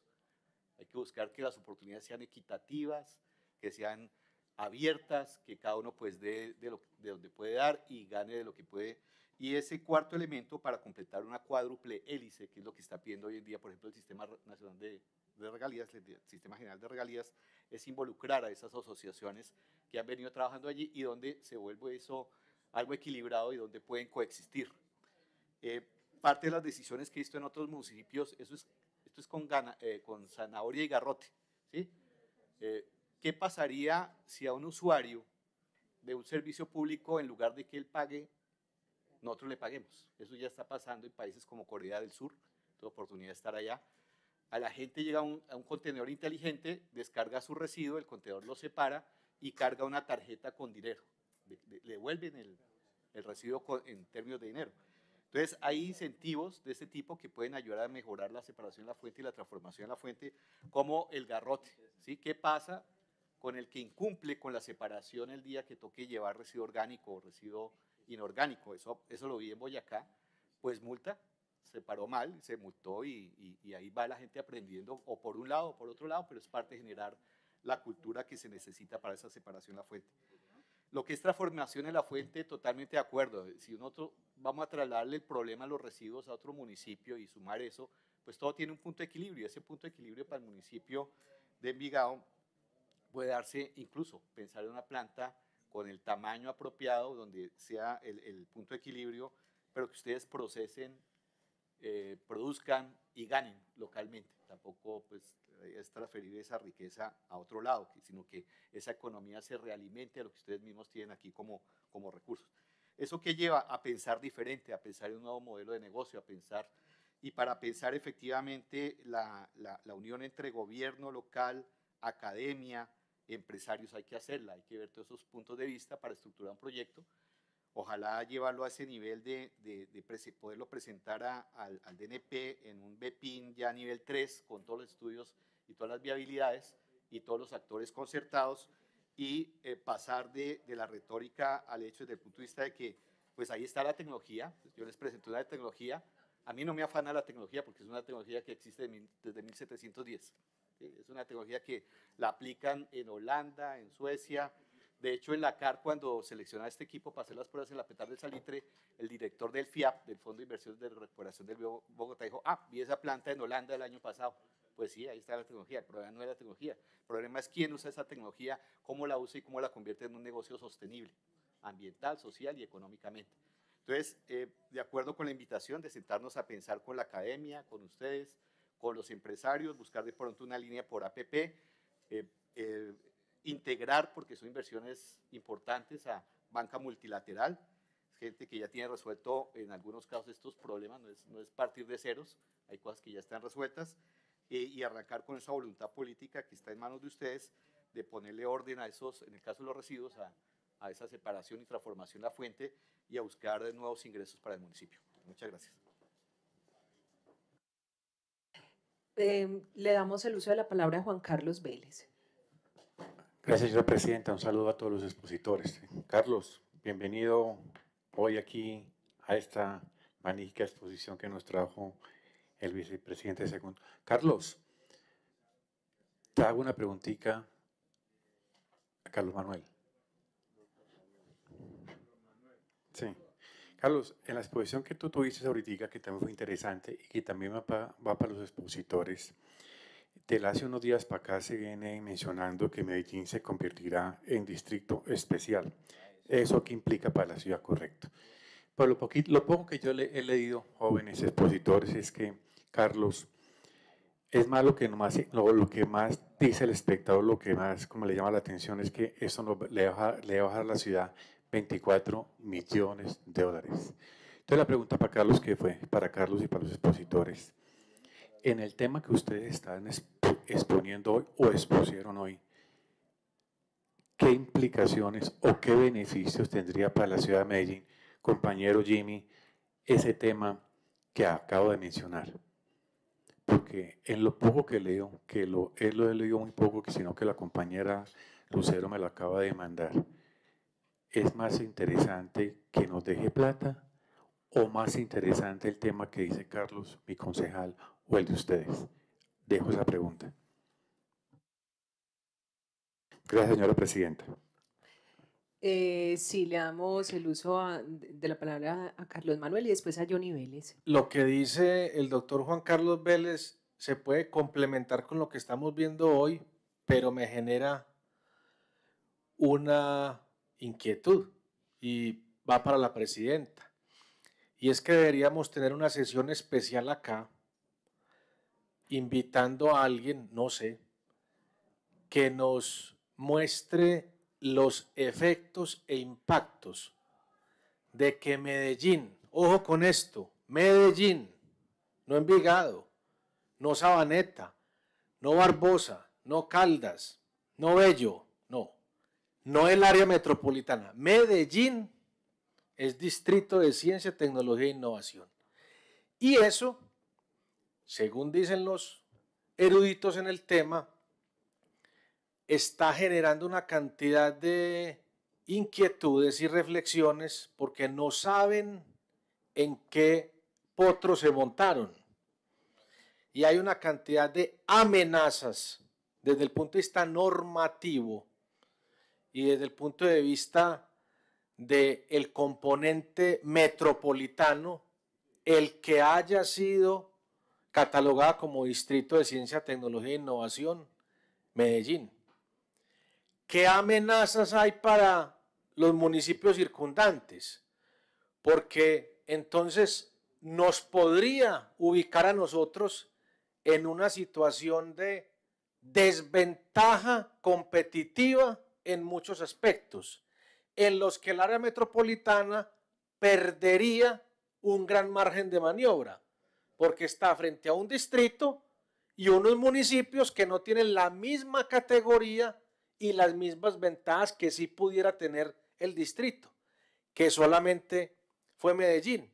En otras partes del mundo ya no se habla de distritos, ciudades distrito, de tecnología, innovación, ciencia, sino que se habla de las grandes metrópolis. Y es, venga, nosotros como ciudad metropolitana, ciudadela metropolitana, seamos todos una ciudad metropolitana en ciencia, tecnología e innovación.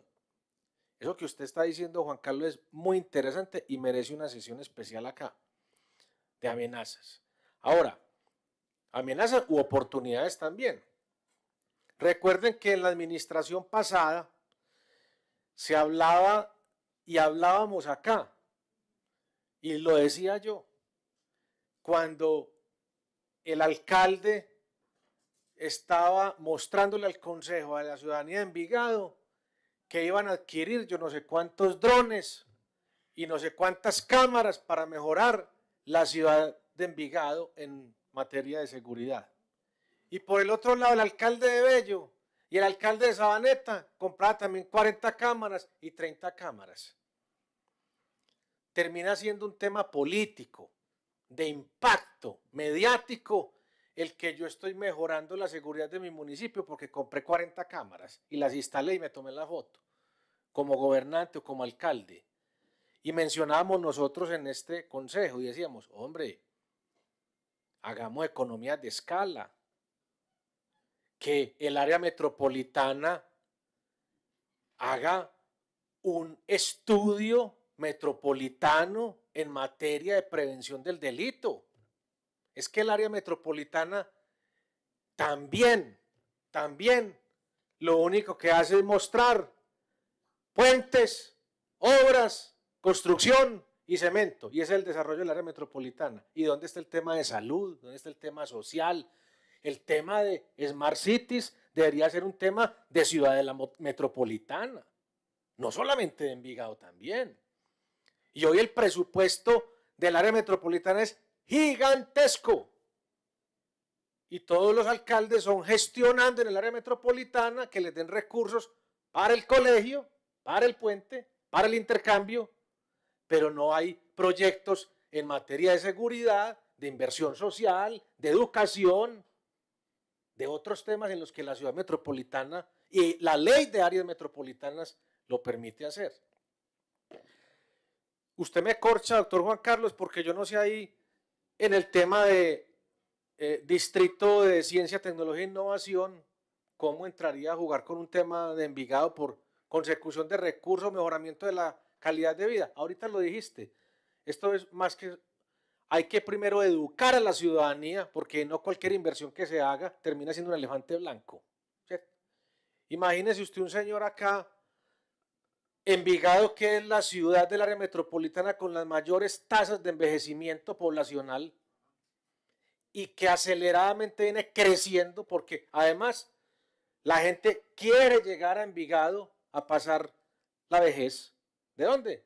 De los barrios de Medellín que ya dejaron de ser residenciales a ser mixtos o comerciales. Y las casas desaparecieron. Belén, Rosales, América, Malibú, todo esto. Toda esta gente está llegando a Envigado. Está llegando a Envigado y se están asentando en Envigado. Y usted ponerle aquí en el parque, en un paradero de buses, y que un momento otro el paradero de buses empiece a hablarle. Y que le empiece a mostrar y a decirle la temperatura, o que el bus tal cosa, ¿qué es esto por Dios? ¿Quién me está hablando? O sea, no, no estamos adaptados para eso. Sería un choque demasiado gigantesco. Nos tenemos que educar. Tiene que, si no hay voluntad política y si los gobernantes, sea cual fuere, no se ponen una meta, debería ser un tema para hablarlo como se habla en la gobernación o en la alcaldía de Medellín o en la área metropolitana o en Pro Antioquia eh, ¿Cuál es la visión de Antioquia al 2030, 2040, 2050? ¿Cuál es la visión del área metropolitana al 2030 y el 40? Y el alcalde que llegue allá a sentarse en la mesa, una cosa es la política, pero otra cosa es para dónde vamos. Y usted tiene que respetar esto. Ojalá fuera así, pero hay que luchar contra el tema político, ¿cierto? Muy difícil saber. Para mí, el hecho de que hoy Medellín sea catalogado como distrito de ciencia, tecnología e innovación para ciudades como Envigado, que están por encima de los demás, es una amenaza gigantesca. Gracias, presidente, por el uso del panel. No, lo mío muy corto y pues un saludo igualmente para todos los que ya quedamos aquí en la sesión.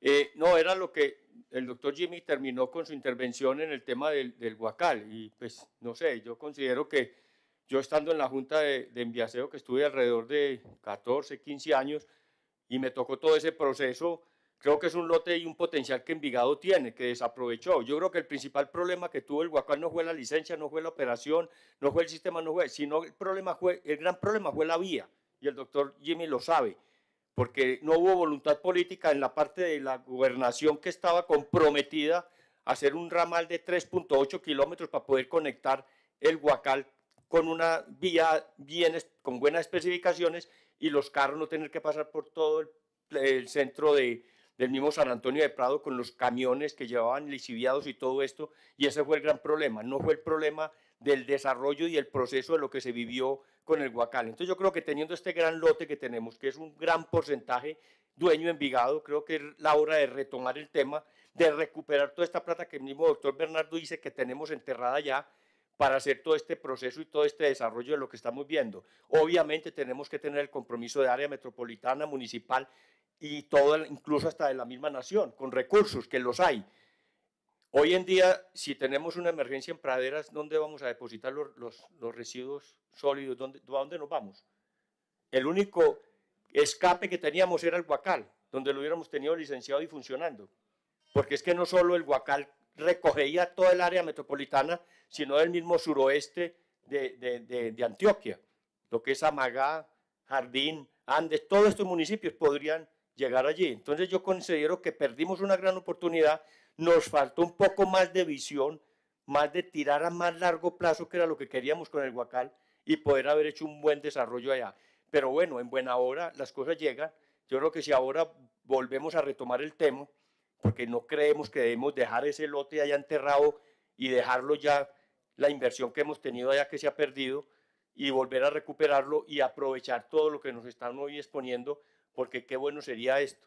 Ese, ese, este, ese manejo de, de lo público con lo privado, creo que es interesante manejarlo acá y empezar a hacer una alianza público-privada, inclusive con la Universidad de Envigado, para poder hacer todo este desarrollo y llevar a feliz término todas estas propuestas y finalmente Envigado que nos lidere todo este tema. Entonces yo considero, doctor Jimmy, que usted que ha sido el, el, el abanderado y que sigue administrando este, este terreno, el Huacal, creo que hay que buscarle una destinación, no lo podemos dejar ahí en el olvido porque tenemos que llevarlo a, a algo importante y ahora que se están viniendo todas estas tecnologías, todo esto que estamos viendo y esta exposición tan interesante con los dos personajes que tuvimos acá para hacernos este trabajo, qué bueno sería eh, en muy corto plazo mirar a ver qué destinación le damos a, a este lote del Huacal, que tenemos ahí un, una gran inversión y, y, un desarrollo de lo que podemos nosotros proyectar como ciudad de Envigado. Sería eso, presidente. Muchas gracias por el uso de la palabra. Le damos el uso de la palabra a Juan Pablo Montoya y ya le damos el uso de la palabra a nuestro invitado. Con estos tres elementos quisiera eh, intervenir finalmente, Presidenta, eh, diciendo que, primero, lo que nos propone eh, Dani Vargas frente al tema de potenciar lo que tenemos, creo que ese sería el camino. O sea, no estamos empezando de cero para lo de las ciudades inteligentes. Creo que Envigado ya ha hecho un trabajo valioso con las diferentes administraciones que han pasado por este territorio y se podría potenciar todo lo que, lo que se tiene. Lo segundo, la discusión que, de la que habla Jimmy, que creo que tiene toda la razón, que es una discusión, debe ser una discusión metropolitana, debe ser una discusión departamental, pero qué bueno que sean estos escenarios, qué bueno que sean las corporaciones públicas donde se toman las decisiones más importantes de ciudad, donde se empiecen a tocar. Y ojalá no solamente se toquen en Vigado, se toquen en Itagüí, se toquen en Caldas, en La Estrella, en Barbosa, en Bello, e inclusive en muchos otros municipios donde se empiece a tocar estos temas que de verdad tienen gran incidencia en el futuro de las ciudades y en el futuro de las próximas generaciones. Y para que no tengamos que hacer muchas inversiones, porque hay veces que, que ese es el temor de las, de las administraciones públicas, las grandes inversiones, yo tendría una propuesta y es empezarle a trabajar a las unidades residenciales inteligentes y a las unidades residenciales inteligentes como el primer polo eh, de inversión de los municipios, porque ahí hay una oportunidad gigante. Primero, tienen, las, tienen sus porterías. Segundo, tienen su tecnología. Tercero, tienen sus consejos de administración, tienen sus empresas de aseo. Y qué bueno que pudiéramos convertir esas unidades residenciales inteligentes, pero inteligentes desde el punto de vista de los residuos orgánicos y de los tratamientos que ellos hacen al interior de sus unidades residenciales y empezar a trabajar allá. Y lo último, que hay que empezar a trabajar en la ciudad, es trabajar en lo que podríamos denominar una cultura inteligente. Y es empezar a llevar todas esas ideas de inteligencia de ciudad a los ciudadanos.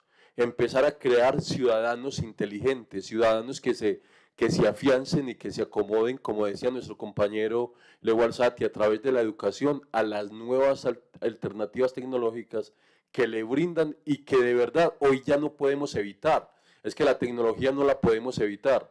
Hoy, próximamente, próximamente y no muy lejos, vamos a tener robots atendiendo. Ya las ciudades están siendo robotizadas y nosotros no podemos seguir pensando como hace 50 años. Hoy las ciudades tienen que ser ciudades completamente tecnológicas y completamente abiertas a las nuevas iniciativas que les brinde la sociedad. Muchas gracias, señora presidenta. Ahora sí le damos el uso de la palabra al doctor.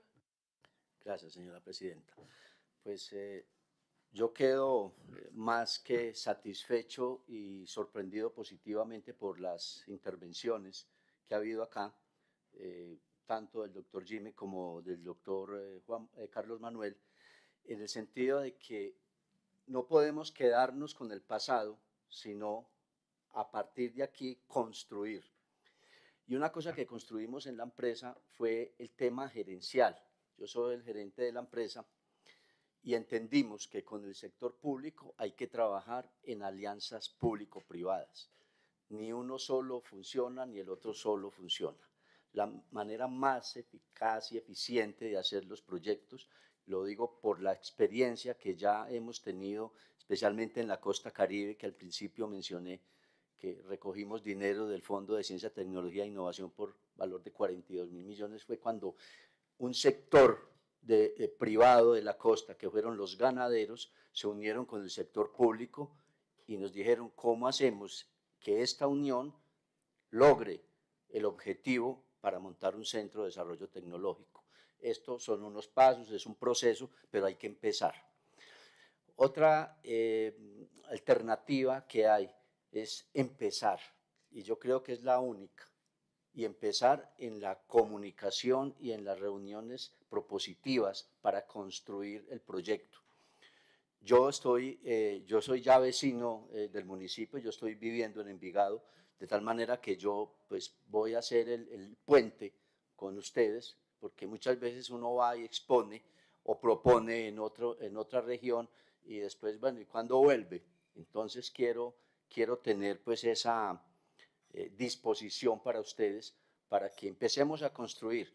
El único compromiso es empezar a pensar, pensar a, unir esfuerzos, ideas, conceptos, eh, para que tanto de una parte como de otra pues se conjuguen los conocimientos, las experiencias y los propósitos para que el proyecto empiece a caminar, es decir, que no quede solamente en un discurso o en una contrarrespuesta y hasta luego, no sirvió, no.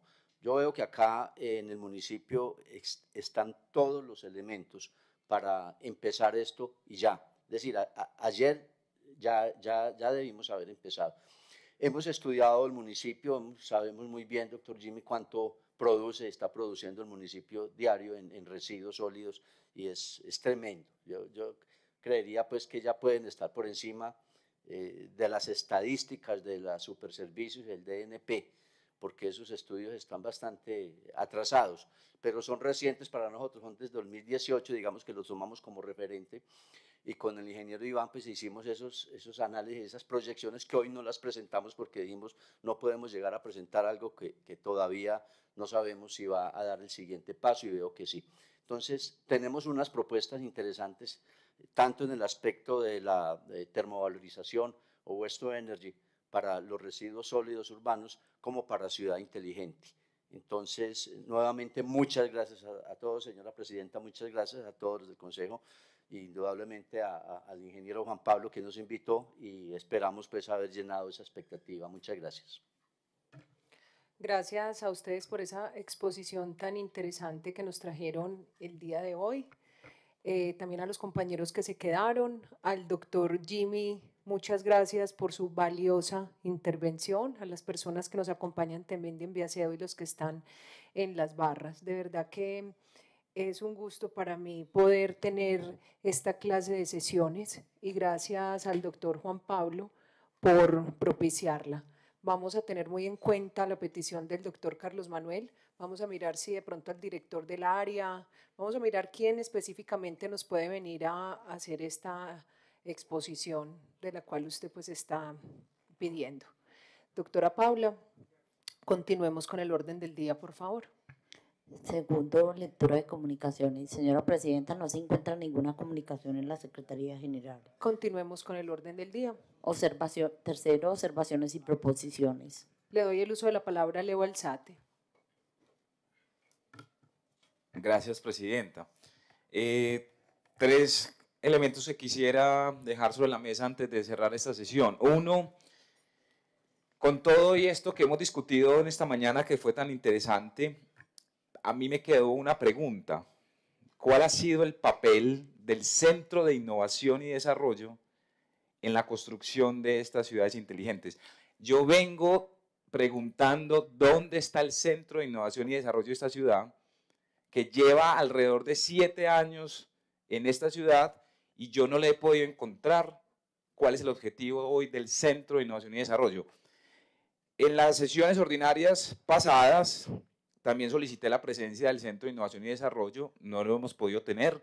Yo vuelvo, insisto, señora Presidenta, en la necesidad de que el Centro de Innovación y Desarrollo venga, e incluso hoy hizo mucha falta para que también eh, aprenda un poquito sobre ciudades inteligentes y nos ayuden a construir ese programa que tan, tan vehementemente hoy nos ha compartido el doctor Carlos Manuel. Entonces, para que lo tengamos ahí presente, si es de su consideración. De igual manera, em, hoy celebra el mundo entero. Nosotros ya somos una ciudad de categoría internacional, ya estamos dentro de las ciudades del aprendizaje y la UNESCO acaba de enviarnos ya el primer mensaje de que hoy es el Día Internacional de los Docentes. Em, tiene un lema muy interesante y es el papel de los docentes en la transformación precisamente de las sociedades. Eh, desde aquí también entonces enviar un saludo muy especial a todos nuestros docentes eh, en este día tan importante, en cuando ya llevamos alrededor de un mes de haber sido nombrados como ciudades del aprendizaje. Y finalmente, eh, este viernes tendremos también el encuentro de de todos los preescolares que también tienen asiento en nuestro municipio para celebrar la Alianza por la Niñez y la Juventud. Y quisiera, señora presidenta, que desde este consejo pues, nos hiciéramos presente con el reconocimiento y que espero que sí sea posible llevarlo a cabo en las instalaciones en que ellos van a celebrar dicho encuentro. Muchas gracias por el uso de la palabra. Doctora Paula, continuemos con el orden del día. Señora Presidenta, el orden del día se encuentra agotado en su integridad. Agotado el orden del día, se levanta la sesión y se convoca para mañana a las 9 de la mañana.